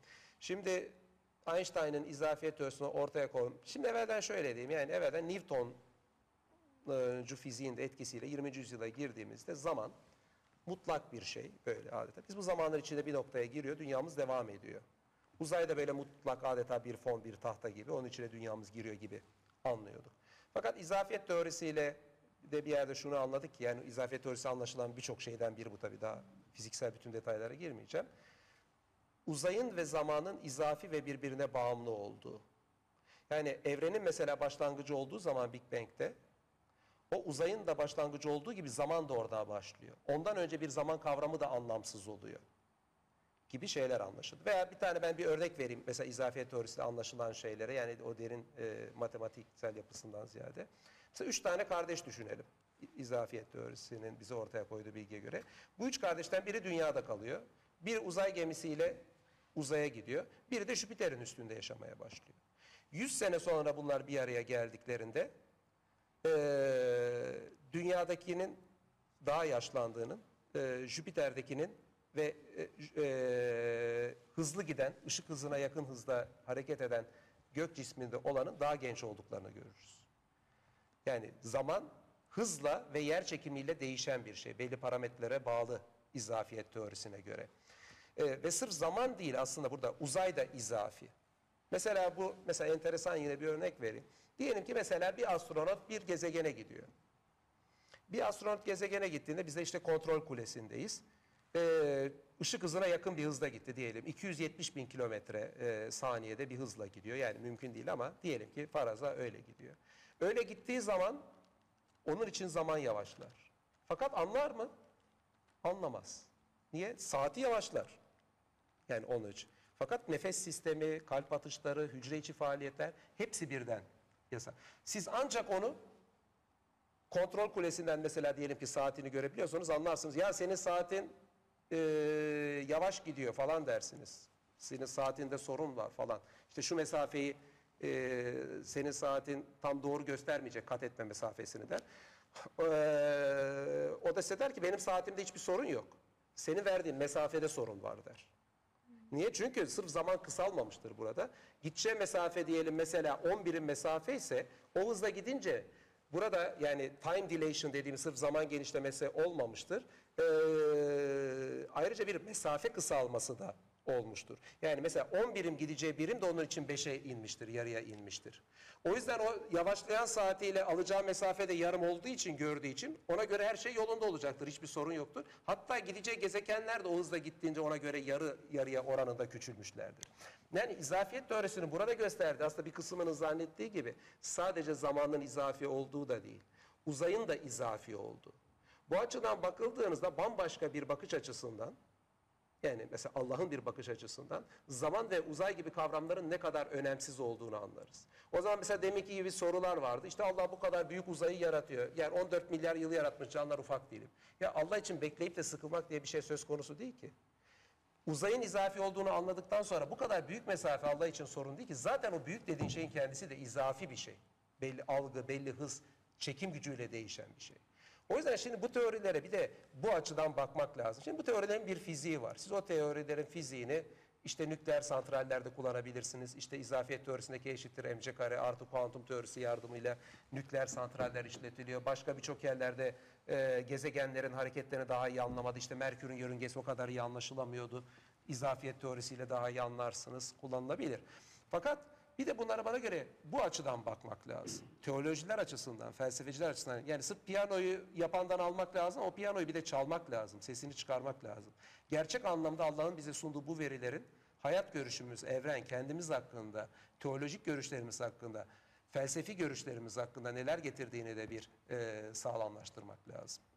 Bu arada kuantum teorisini de e, çok soran olmuş. Hatta siz bu izafiyetten bahsederken hani kuantuma bir anlamda karşıdır ifadesi doğru mudur diyen var.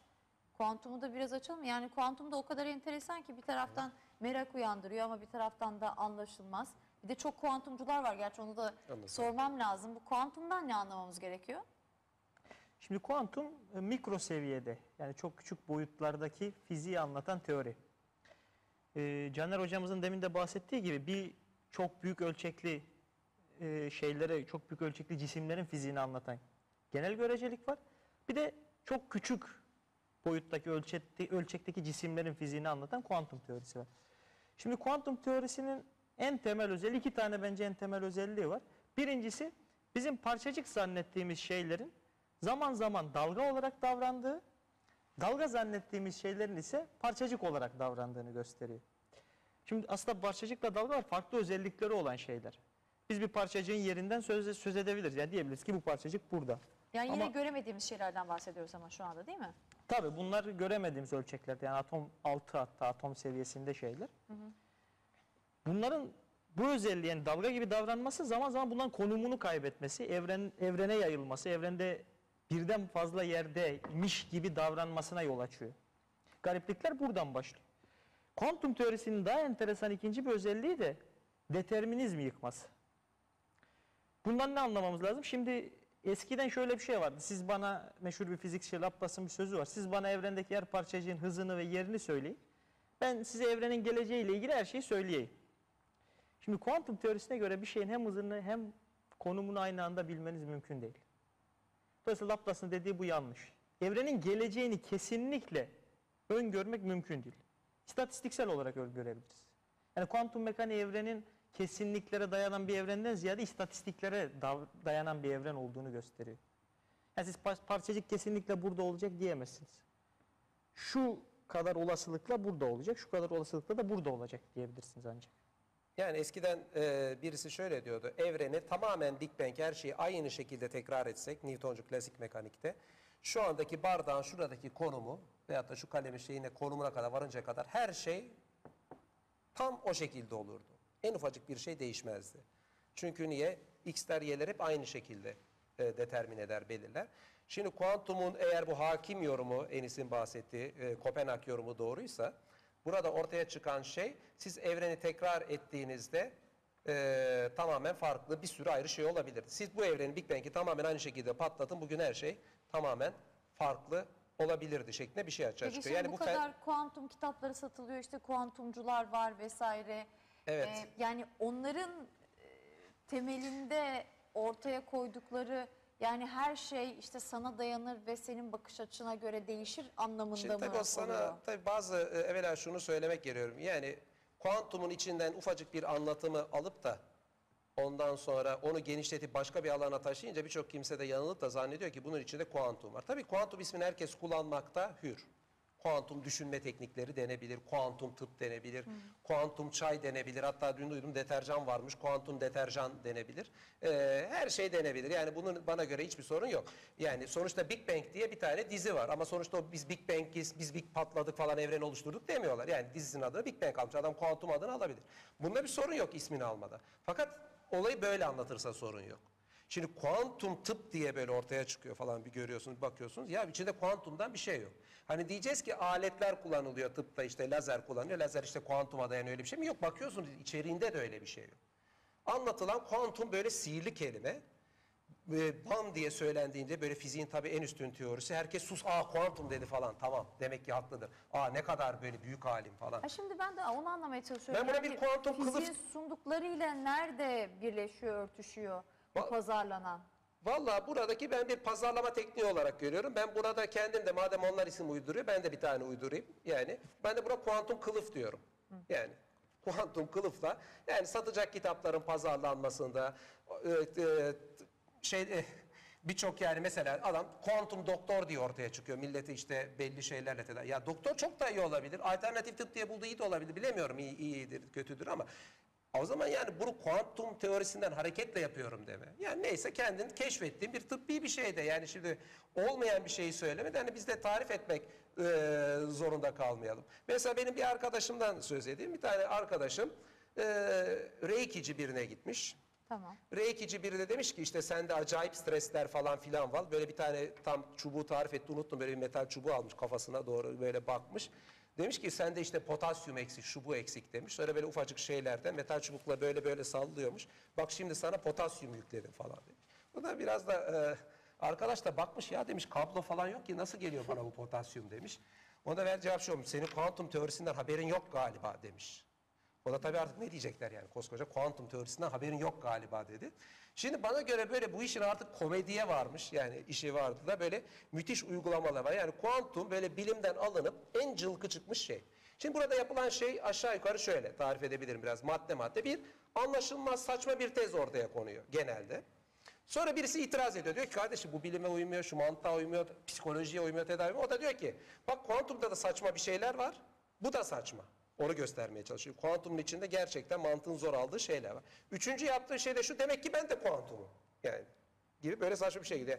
Kuantumda da böyle anlaşılmayan şeyler var. Bende de anlaşılmayan bir şey var. Ben de kuantumum. Dördüncüsünde de diyor ki yani kuantum ciddi bilimsel bir şey. Bak ben de ciddi bilimselim. Peki, yani pardon şimdi şunu söyleyeyim. Yani siz- en saçma, en e, ayakları yere basmayacak iddialar böyle başına bir kuantum getirilip böyle bana göre komedi olabilecek şekilde pazarlanmaya çalışılıyor. Peki siz şimdi kuantumculara kızıyorsunuz. Ben onu anladım. Kuantum teorisinin yani fiziğin bu dev teorisinin insan hayatına e, yansıması gibi bir şey olabilir mi? Yani yoksa hiçbir şekilde bir e, ilinti kurmuyor musunuz? Yani hani en minimal ölçekte soruyorum. Hani kuantum teorisi bunu sunuyor dediniz az önce işte biraz anlattınız. Bunun bizim hayatımızda nasıl bir yansıması olabilir? Hani bunu en harika yapan kişi açısından soralım. Diyelim ki işte bir akademisyen, bir fizikçi bize anlatıyor. Kuantum teorisinin insan hayatındaki yansıması ne? Yani yansımasına Yani biz mesela düşünce şeklimizi değiştirirsek işte olayların Hayır, bir bizim teknolojik yansımalarını gidişatı, anlatsam en evrim- iyisi onları çok iyi bilir. Teknolojik yani aslında kuantum hayatımızın içinde de e, Ay nasıl içinde yani? Kuantum teorisi hayatımızın nasıl içinde? Kuantum teorisi zaten bugün e, lazerden tutun NMR cihazlarına kadar yani siz gittiğiniz herhangi bir resminiz çekildiği zaman girdiğiniz NMR makinesine kadar hepsi kuantum teorisine dayalı olarak yapılmış şeyler bunlar. Yani kuantum teorisi bize bir e, teknolojik devrime götürür, daha da götürecek. Yani süper iletkenler e, geliştirildi. Tamamen kuantum teorisi sayesinde. Yani süper bugünkü mevcut lazerlerimiz hepsi kuantum teorisi kullanılarak Nükleer santrallerimiz, Nükleer santrallerimiz. Siz şimdi somut bir şeyden bahsediyorsunuz. Ben hani soyut bir şeye döndürmeye çalışıyorum. Böyle bir şey mümkün mü diye.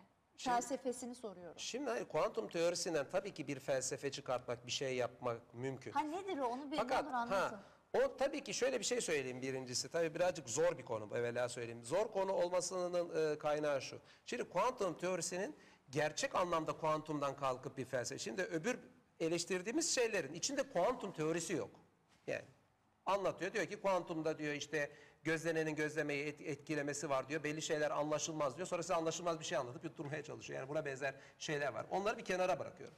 Ha, kuantum teorisinin felsefesinden mesela neler çıkartılabilir? Şimdi evvela şunu bilmek lazım kuantum teorisiyle ilgili soru. Kuantum teorisinin bilimsel yorumu da tartışmalıdır. Kopenhag yorumu dediğimiz hakim olan bir yorum vardır.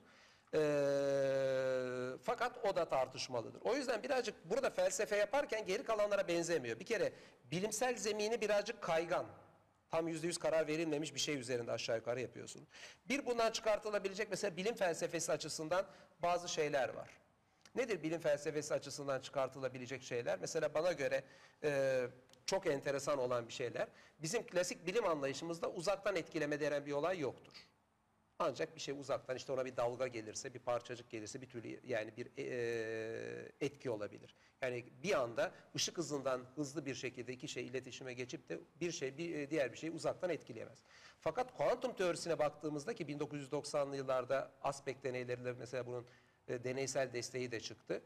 E, atom altı seviyelerdeki parçacıklardan Şimdi bu teoriye göre, şimdi detaylarını uzunca anlatmayayım. Peki, zaman, Tamam. Uzaktan etkilemenin mikro seviyedeki parçacıkların e, uzaktan birbirlerini etkilediklerini biz bir parçacığın yönü değiştirirsek onlar teo- teoriye göre belli şekilde dönmeleri gerekiyor. Birinin yönünü değiştirirsek öbürünün de yönünü değiştirdiği görülür.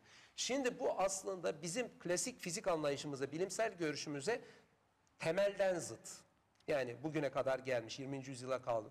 Ve bu aslında bilim için şu anda çözülememiş bir bunalım diyebiliriz. Böyle şeyler var. Şu anda benim için de çözülememiş bir bunalım oldu bu kuantum Evet sizin de olabilir. Mesela normal hayatta desek ki dediğimiz gibi Aa, ben telepati duyuyorum şurada burada. Yine psikiyatristler incelemeye alır. Gel sana şöyle falan bir e, rahatlatalım. Şöyle falan senin bir sıkıntın var derler. Ciddiye alınmaz. Telepati vardır yoktur o konuya girmiyorum ama en azından modern psikoloji bunu kale almaz.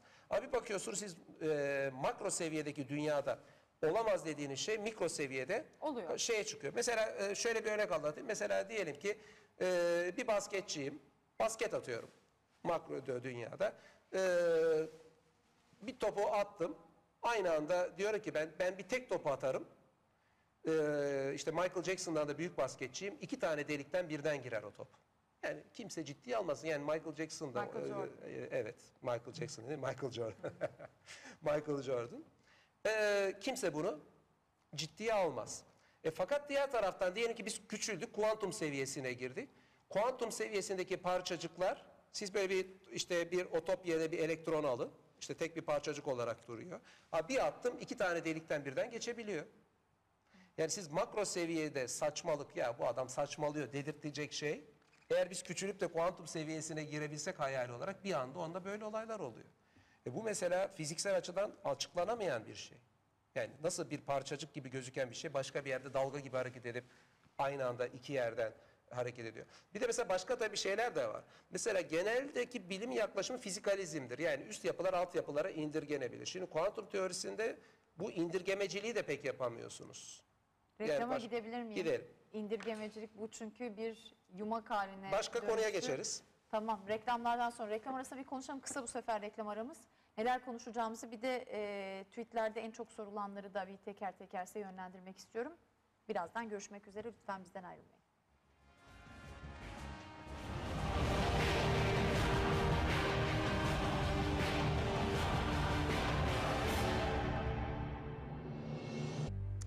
Evet devam ediyoruz bilinmeyene sevgili seyirciler ve e, yine Twitter'dan gelen bir soru bu e, CERN'deki deneyle ilgili olarak e, orada bir tehlikenin oluşabileceği hani kaç zamandır zaten bu deneyin yapılmasıyla e, en azından açıklanmasıyla birlikte hep tartışılmıştı. Eninde sonunda bu büyük hadron çarpıştırıcısında bir kara delik oluşacak ve sonra o kara delik dünyayı yutacak ve dünyanın sonu olacak gibi gibi. Böyle bir tehlike var mı? Şimdi ilk bilmemiz gereken şey standart modele göre yani kabul edilen teoriye göre orada bir kara delik oluşmayacak. Bir kara delik oluşturması için, oluşması için 1000 tev civarında bir enerji lazım standart modele göre. Orada 14 tevlik bir enerji olacak. Yani bayağı uzak bir rakam.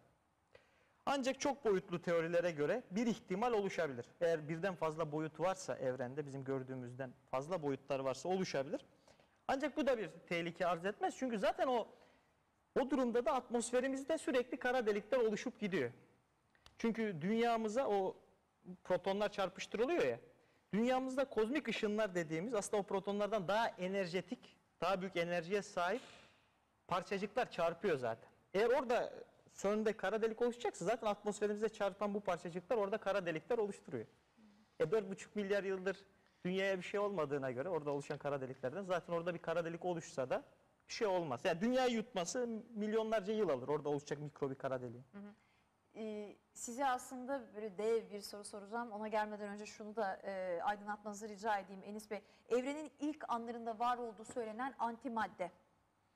E, onu bir açıklayabilir misiniz? Gerçekten antimadde diye bir e, maddeden bahsetmek mümkün mü? Çünkü var olduğu söyleniyor ama e, ona bir şekilde ulaşılamadı değil mi? Yani günümüzde e, bilimsel çalışmalar ışığında varlığı ispatlanmış bir şey değil. Antimadde var. Yani anti parçacık dediğimiz bir şey. Deneysel olarak biz zaten anti... Şimdi şurada şu ayrımı çok iyi yapmamız lazım. Bir anti parçacık dediğimiz bir şey var. Bir de antimadde dediğimiz bir şey var. Şimdi anti parçacık nedir? Anti parçacık aslında bugünkü parçacıklardan çok bir farkı yok. Mesela bir elektronun anti parçacığının tek farkı ondan yükünün farklı olması. Ama anti parçacıkla parçacığını çarpıştırdığımız anda ikisi de enerjiye dönüşüyor. Özellikleri bu. Ve yok mu oluyor? Yok oluyorlar, enerjiye dönüşüyorlar. Şimdi antimadde nedir? Antimadde işte Yani kütlesini kaybediyor daha kütlesini doğrusu kaybediyor, enerjiye ederken. dönüşüyorlar. İkisi yok olup enerjiye dönüşüyor. Sıcak ve ışığa dönüş. Tamam. Peki antimadde nedir? Antimadde de bu parçacıklardan oluşan madde. Şimdi biliyorsunuz normal bizim atomlarımızın merkezinde pozitif yüklü proton, etrafında dönen de negatif yüklü elektron var. Şimdi bu elektronu pozitronla değiştirirsek yani pozitif yüklü yaparsak, merkeze de negatif yüklü bir şey koyarsak bu antimadde olur.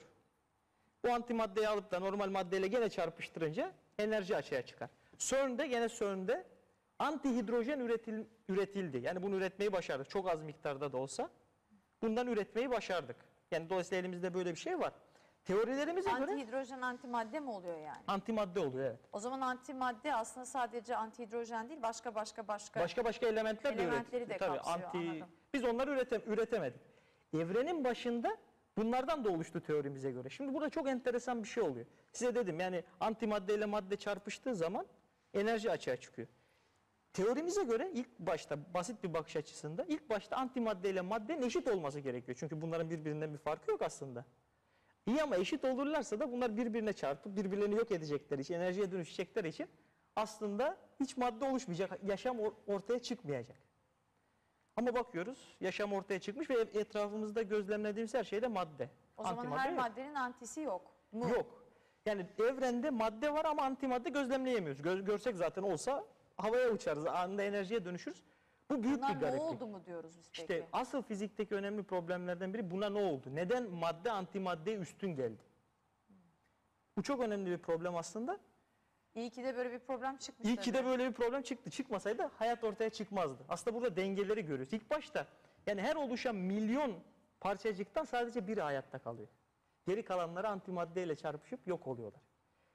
Yani burada bir tane parçacığın, milyonda bir tane parçacığın fazla gelmesi bizim burada hayatta olmamızın sebebi. Orada niye böyle oldu tam olarak bilmiyoruz. Orada böyle olmasaydı şu anda hayatta olmazdık. Evet. Bu antimadde çok ilginç, çok acayip değil mi? Yine bizim acizliğimizin bir göstergesi gibi. Ya evrende e, muhteşem insanı dehşete düşürecek, hayranlığa düşürecek süreçler var. İşte onlara bakmak lazım. Yani Kur'an'daki birçok ayette de bunlara bakmamız, bunlardan ibret almamız, Allah'ın sanatını takdir etmemiz şeklinde ifadeler geçiyor. Bunlardan ibretleri almamız lazım. Ne diyelim? Peki bu din ve bilim ilişkisi yani sağlıklı bir şekilde nasıl kurulmalı? Tabii ki yani bilimin ışığında insanlık ilerlemeli. Ama bir taraftan da e, hani maneviyat da çok önemli ki zaten bilime de ışık tutuyor. İşin kötü tarafı hani İslamiyet'te bilimin ışığı maalesef e, bir dönem sönmüş ve ondan sonra hani eski e, şaşalı günlerine dönmesi epeyce bir zaman alıyor. Yani Batı tek eline almış vaziyette ve sanki e, İslam ülkelerinde hani İslamiyet'te bir geri kalmışlık gibi söz konusu. Yani sanki değil geri kalmış çok bariz bir Evet, şekilde. evet, Ee, evet. Şimdi evvela tabii ki şöyle görüyoruz. Allah günleri insanlar arasında çeviririm diyor Kur'an'da. Gerçekten kimi dönemde kimisi hakim oluyor, kimi dönemde insanlığın bir kısmı hakim oluyor. Biz Müslümanız hep hakim olacağız diye bir şey yok. Ne yazık ki isterdi gönlümüz ama yok. Ee, Kur'an geldikten sonra bakıyoruz ki e, 7. yüzyıldan hemen sonra belki o 8. yüzyıllar gibi İslam çok geniş bir coğrafyaya hakim oluyor. Sadece bu hakimiyete kılıçla bir hakimiyet değil. Yani bilimde, felsefede, sanatta birçok alanda müthiş bir gelişme, müthiş bir hakimiyet var. 13. yüzyıla kadar aslında dünyanın en gelişmiş medeniyeti kuruluyor. Tabii. İşte 13. yüzyıldan 16. yüzyıla kadar diyebiliriz ki aslında Batı'nın ve İslam dünyasının bir üstünlüğünün olmadığı bir dönem yaşanıyor olabiliriz diyebiliriz. 16. yüzyıldan da günümüzde Batı'nın çok açık bir üstünlüğünün olduğu bir dönemde veren İslam'ın üstünlüğü nasıl çok açık bir üstünlüğü varsa öyle bir şey var. Bundan tabii ki kullanmada Müslümanların e, bilimle olumlu, sağlıklı ilişki kurmalarını ben bundan kurtulmalarında e, önemli görüyorum. Ama sırf bilim değil yani siyaset ve diğer unsurlar da e, burada birçok başka unsurlar da Ama tabii Moğol istilası, Haçlı seferleri Ondan Tabii. sonra ticaret yollarının ellerden gitmesi, hani Tabii, tabii. İslamiyet'in hakim olduğu coğrafyadan gitmesi çok Ben büyük tabii bir çok büyük genellemelerle olayı anlattım. Bu benim anlattığım geniş dönemlerde hep Tabii ki. inişler, çıkışlar, Tabii ki. Batı'nın İslam dünyasından iyi yaptığı, İslam dünyasının gelişmiş olduğu da veyahut da Batı'nın daha gelişmiş olduğu dönemde İslam dünyasında Batı'dan daha yapılmış şeyler bulunabilir. Ben böyle tabii çok genellemelerle hızlı bir şekilde anlatmaya çalıştım. Şimdi burada din bilim ilişkisi nasıl konulur? Müslümanlar bunu yapmıştı. Yapmaları için bir neden yok. Hristiyanlıkta sonuçta kökleri Allah'ın gönderdiği dinde olan bir sistem. Yani o, o da illaki onlar da bir böyle bir düşman medeniyet olarak görmemek lazım. Bizim medeniyetimiz onları nasıl kimi dönemde besledi, etkilediyse biz de onlardan e, olumlu, faydalı şeyleri bulup alırız. E, şimdi din bilim ilişkisi birkaç tarza kurulur ama ondan önce şunu söyleyeyim. Hemen önce bence şu soruyu koymak lazım. Hangi bilim hangi din? Hangi bilimden ve hangi dinden bahsediyorsunuz sorumluluğu sormamız lazım.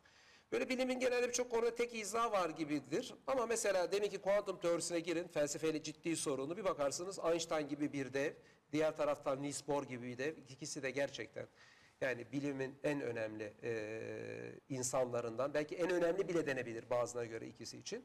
Birbirine tamamen e, farklı düşünüyorlar. Şimdi bir determinist evren yorumu mesela bir felsefi, sırf bilim felsefe din ilişkisi diyorum ben aslında sırf bilim din ilişkisi demiyorum. E, Burada kuracağımız ilişkide hangi kuantum teorisini alıp yola çıkacağımız mesela bir fark oluşturabilir. Ee, diğer taraftan aslında dinlerin içinde de farklı yorumlar var. Mesela Mutezile mezhebi İslam'ın içinde daha özgürlüklü, özgür irade yor veren, e, yer veren bir yaklaşımda bulunmuştur. İşte Cebriye, işte kulların hiçbir özgürlüğü olmadığını söylemiştir.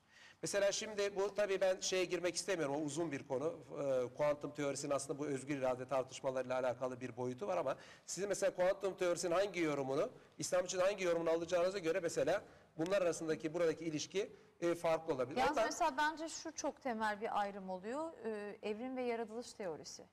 Yani inanca göre e, bir yaratılıştan bahsediyoruz. Ama mesela evrim teorisi e, bilim dünyasında da çok kuvvetli e, bir teori. Dolayısıyla sanki orada en ciddi ayrışmalardan bir tanesi yaşanıyor. Vallahi siz tabii bugün çok bir yerde bir sürü konuyu üst üste açıyorsunuz. Şimdi burada tabii söylenebilecek çok fazla şey var. Birincisi evrim teorisinin bilimsel kısmıyla ilgili belli e, yaklaşımlarda bulunabilir. Ben onları başka bir zamana bırakıyorum. E, yani orada Elbette arka arkaya kaç saatlik Tabii, programlar tabii, tabii. yapılır Hemen da şöyle hani hemen herkesin bildiği dediği şeyler gibi olduğu oradaki için. fikrimi söyleyeyim. Ben e, evrim teorisi metafizik bir e, research programdır diyor. Yani içinde aslında tamamen bilimsel gibi gösterdi birçok metafizik unsurlar olan bir teori genelde evrim teorisi. Fakat şunu bilmek lazım. Evrim teorisiyle ilgili bir hatanın da burada altını çizmemiz lazım. Yani evrim teorisi illa Richard Dawkins'in gösterdiği gibi değildir. İlla ki ateist bir şekilde anlaşılmak zorunda değildir. Aslında bugünkü evrim teorisini oluşturan birçok kimse babaları olduk tanrı inancı olan kimselerdir. Mesela diyelim ki Dobzhansky.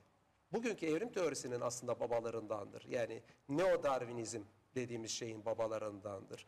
Ee, ondan sonra mesela Human Genome Pro- Project'in başındaki mesela şu andaki kişi olsun. Ee, mesela e, birçok ünlü din felsefecileri mesela Richard Swinburne gibi e, olsun veyahut da e,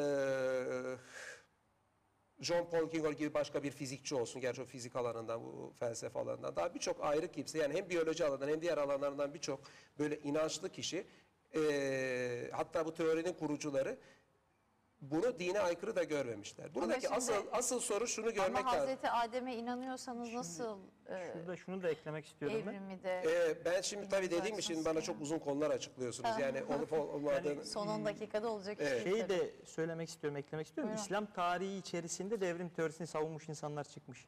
Yani evrim teorisi illa İslam'la şey, çatışır, dinle çatışır diye bakmamak lazım. Yani Peki nasıl Biruni, açıklamış siz kısaca söyleyebilir misiniz? Biruni? İbni Tufeil gibi çok değerli İslam alimleri evrim teorisine benzeri teoriler savunmuşlar. Yani illa çelişmek zorunda değil.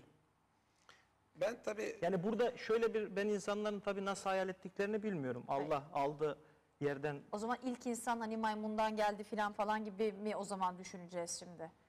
Şimdi yani bu, nasıl illa, örtüşecek? illa dinle çelişmek zorunda değil tabii. Yani il- il- ilk Yaşam ortaya- sudan başladı işte Hazreti Adem sudan mı geldi filan gibi. Nasıl öyle bir şey de bu. Yani sonuçta e, bütün yaşam, bütün canlıların temeline döndüğüm zaman hakikaten toprak, hakikaten su. Yani Allah'ın illa e, eliyle toprağı aldı, ona şekil verdi İnsan o şekilde oluşturduğu tabii- bir düşünceye girmek Yani zorunda. Ama cennetten kovulma hikayesi var. Şimdi Neyse, bakın her bir üzerine çok söyleyecek bir şey var. Şimdi öyle bir konu açtınız ki çok şey söylemek lazım. Bir de tabii belli bir şeyi açıklarken sanki oradaki görüşü tam savunuyormuşsunuz belli görüşün. Şimdi bu konuda e, her görüşün eksiklikleriyle, bütünlükleriyle koymak lazım. Şimdi ben bu konuya buradan girme nedenim şu. Evvela asıl sorunun ne olduğunu yakalamak lazım. Yani asıl sorun birinci derecede evrim teorisinden ziyade ateist evrimci görüştür. Ha, ateist evrimci görüş olmayan görüşü de ayrıca yatırmak lazım. Ona bir şey demiyorum. Ama başta asıl burada sorun olan ateist evrimci görüştür. İlk bilinmesi gereken şey bu böyle anlaşılmak zorunda değildir. Bunu böyle anlamayanlar nasıl anlamıştır? Bunu böyle anlamayanlar çünkü Kur'an'da veya diğer yerlerde Allah'ın araçsal sebeplerle yaratması asli yaratmasıdır bizim için. En azından gözlediğimiz sebeplerden biri. Çünkü sadece Adem'le Havva'yı Allah yarattı demeyiz. Bize göre her insanı Allah yaratır. Ama her insanın annesi babası işte beraber olur. Annesi 9 ay taşır. İşte oraya süt verilir. Birçok süreçlerden geçer çocuk olur. Onu da Allah yaratmıştır. Yani arada belli araçsal sebepler olması Allah'ın ol dedi oldu şeyine aykırı gözükmez.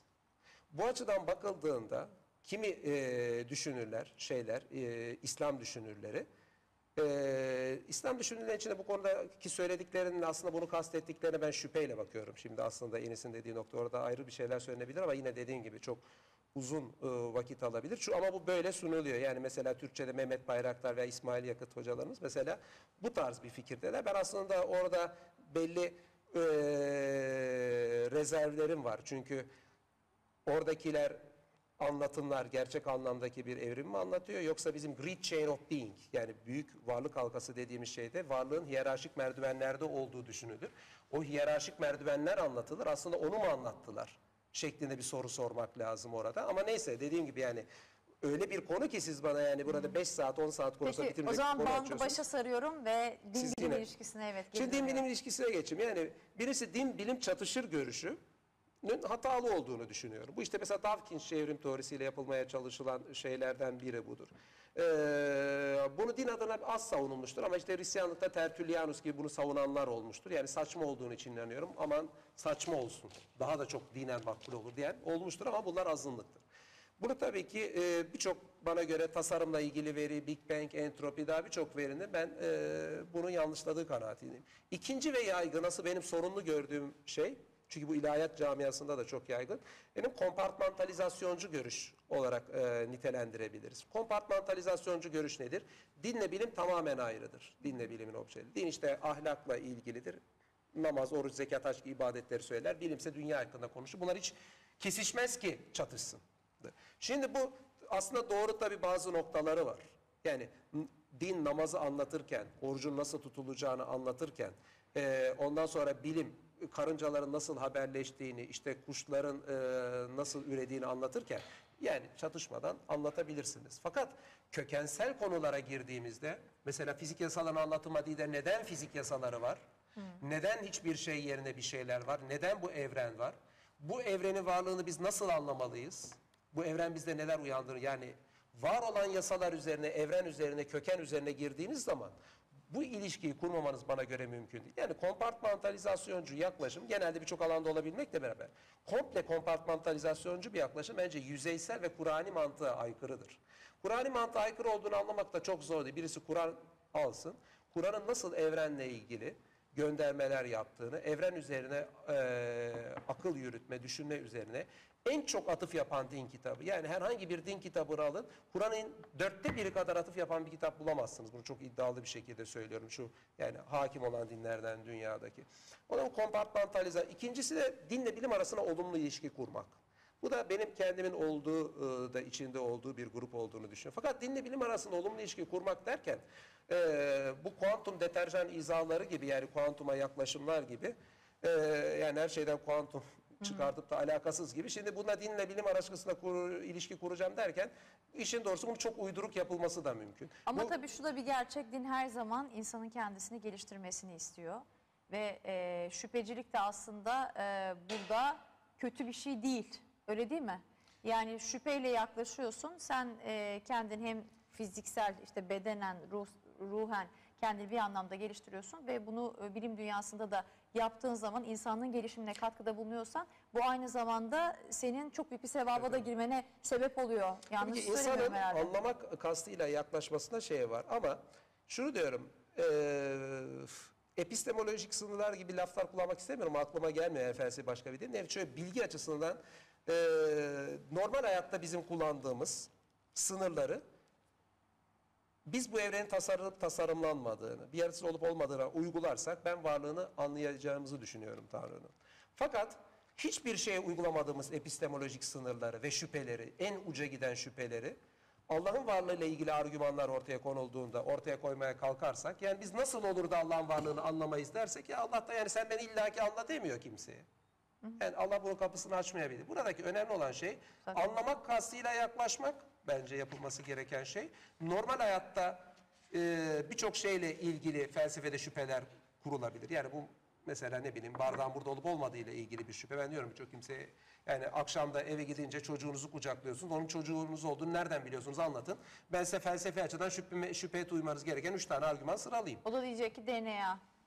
Ha, DNA ya O DNA da değil. bilime dayandıracak. DNA değil. Ben diyorum ki çocuğu, hayır onu, onu kastetmeyeyim. Yani hani çocuğun olup olmadığını o açıdan bilinmesi Ne açıdan dediniz? Mesela arkadaşı, 40 yıllık arkadaşı diyelim. 40 yıllık arkadaşı evine geldiğinde onun o 40 yıllık arkadaşı olduğunu nereden biliyor? Daha açık net bir şey. Hmm. Ha der ki biliyorum. E ben derim ki dünyadaki bir benzeri de oraya gelmiş olabilir. Bir ihtimal değil mi olmuş? Yani demek istediğim ama normal hayatta herkes arkadaşından öyle bir şüphe duymuyor. 40 yıllık arkadaşı evine gelince evinde görüyor. Aynı ses tonu kendisine yönelik konuşuyor. Öyle bir şüphe duymuyor. Sonuçta hayatta biz birçok olaya böyle anormal şüpheler yüklemiyoruz. Bu tip şüpheleri aşırı ya bu benim gerçekten arkadaşım mıydı? Bunun içine uzaylı girmiş olabilir mi? Acaba dünyadaki bir benzeri beni gelip de şu anda eee Kandırıyor olabilir mi? olabilir mi? Yani bu şekildeki üç, uç, şüphe, üç şüpheleri hayatta eee, uygulamıyoruz. Şimdi bu evrenin bence tasarımla ilgili şeyleri, tesadüf eseri olmadığı, kendi kendine olamayacağına ilgili veriler aynen bu netlikte bakıldığı zaman bununla ilgili ortaya çıkan olasılıklar netlikler. Ben diyorum ki eğer ki bunlardan şüphe ederseniz hayatta sizin en açık gördüğünüz hakikatler babanızı gördüğünüz zaman onun babanız, anneniz olduğunu, arkadaşın arkadaşın olduğunu da şüpheli olduğu bir argüman ileri sürülebilir. Pekala. Yani aşırı şüphe ileri sürmeden anlamaya çalışarak yaklaşmamız gerektiği kanaatindeyim. Son cümle olsun bu da. Çok teşekkür ederim geldiğiniz için. Benim için Sağ olun. zaman çok çabuk aktı geçti. Tabii eee, kafamda da birçok soru işareti kaldı. Bazı izleyicilerimiz anlayamıyorum falan diyorlar. Evet bazılarını ben de anlayamıyorum ama tabii soracağız, öğreneceğiz. Çok çok teşekkür ederim Enis Doko geldiğiniz için ve Caner Taslaman geldiğiniz için. Eee, birkaç kitap, Modern Bilim, Felsefe ve Tanrı, Caner Taslaman'ın kuantum teorisi, fe- kuantum teorisi, felsefe ve tanrı ve e, küreselleşme sürecinde Türkiye'de İslam, evrim teorisi, felsefe ve tanrı aslında açmış olduğumuz başlıklar üzerine Caner Bey'in çokça söyleyecek sözü var. Ve e, Enis Doko size de çok çok teşekkür ederim gelmiş olduğunuz için, bizleri aydınlattığınız için. Isaac Newton'un kitabını niçin bana veriyorsunuz? Onu Enis. Enis Doko'nun kitabı olduğu için öyle mi? Pekala. Ee, ve şifrelerden sembollere Dan Brown sizin de imza atmış olduğunuz bir kitap. Elinize sağlık. Devamı gelir umarım ve e, önümüzdeki programlarda da sizi ağırlamayı sürdürürüz. Sevgili seyirciler Ebru Yücel'le bilinmeyeni hazırlıyoruz. Haftaya görüşmek üzere. Hoşçakalın.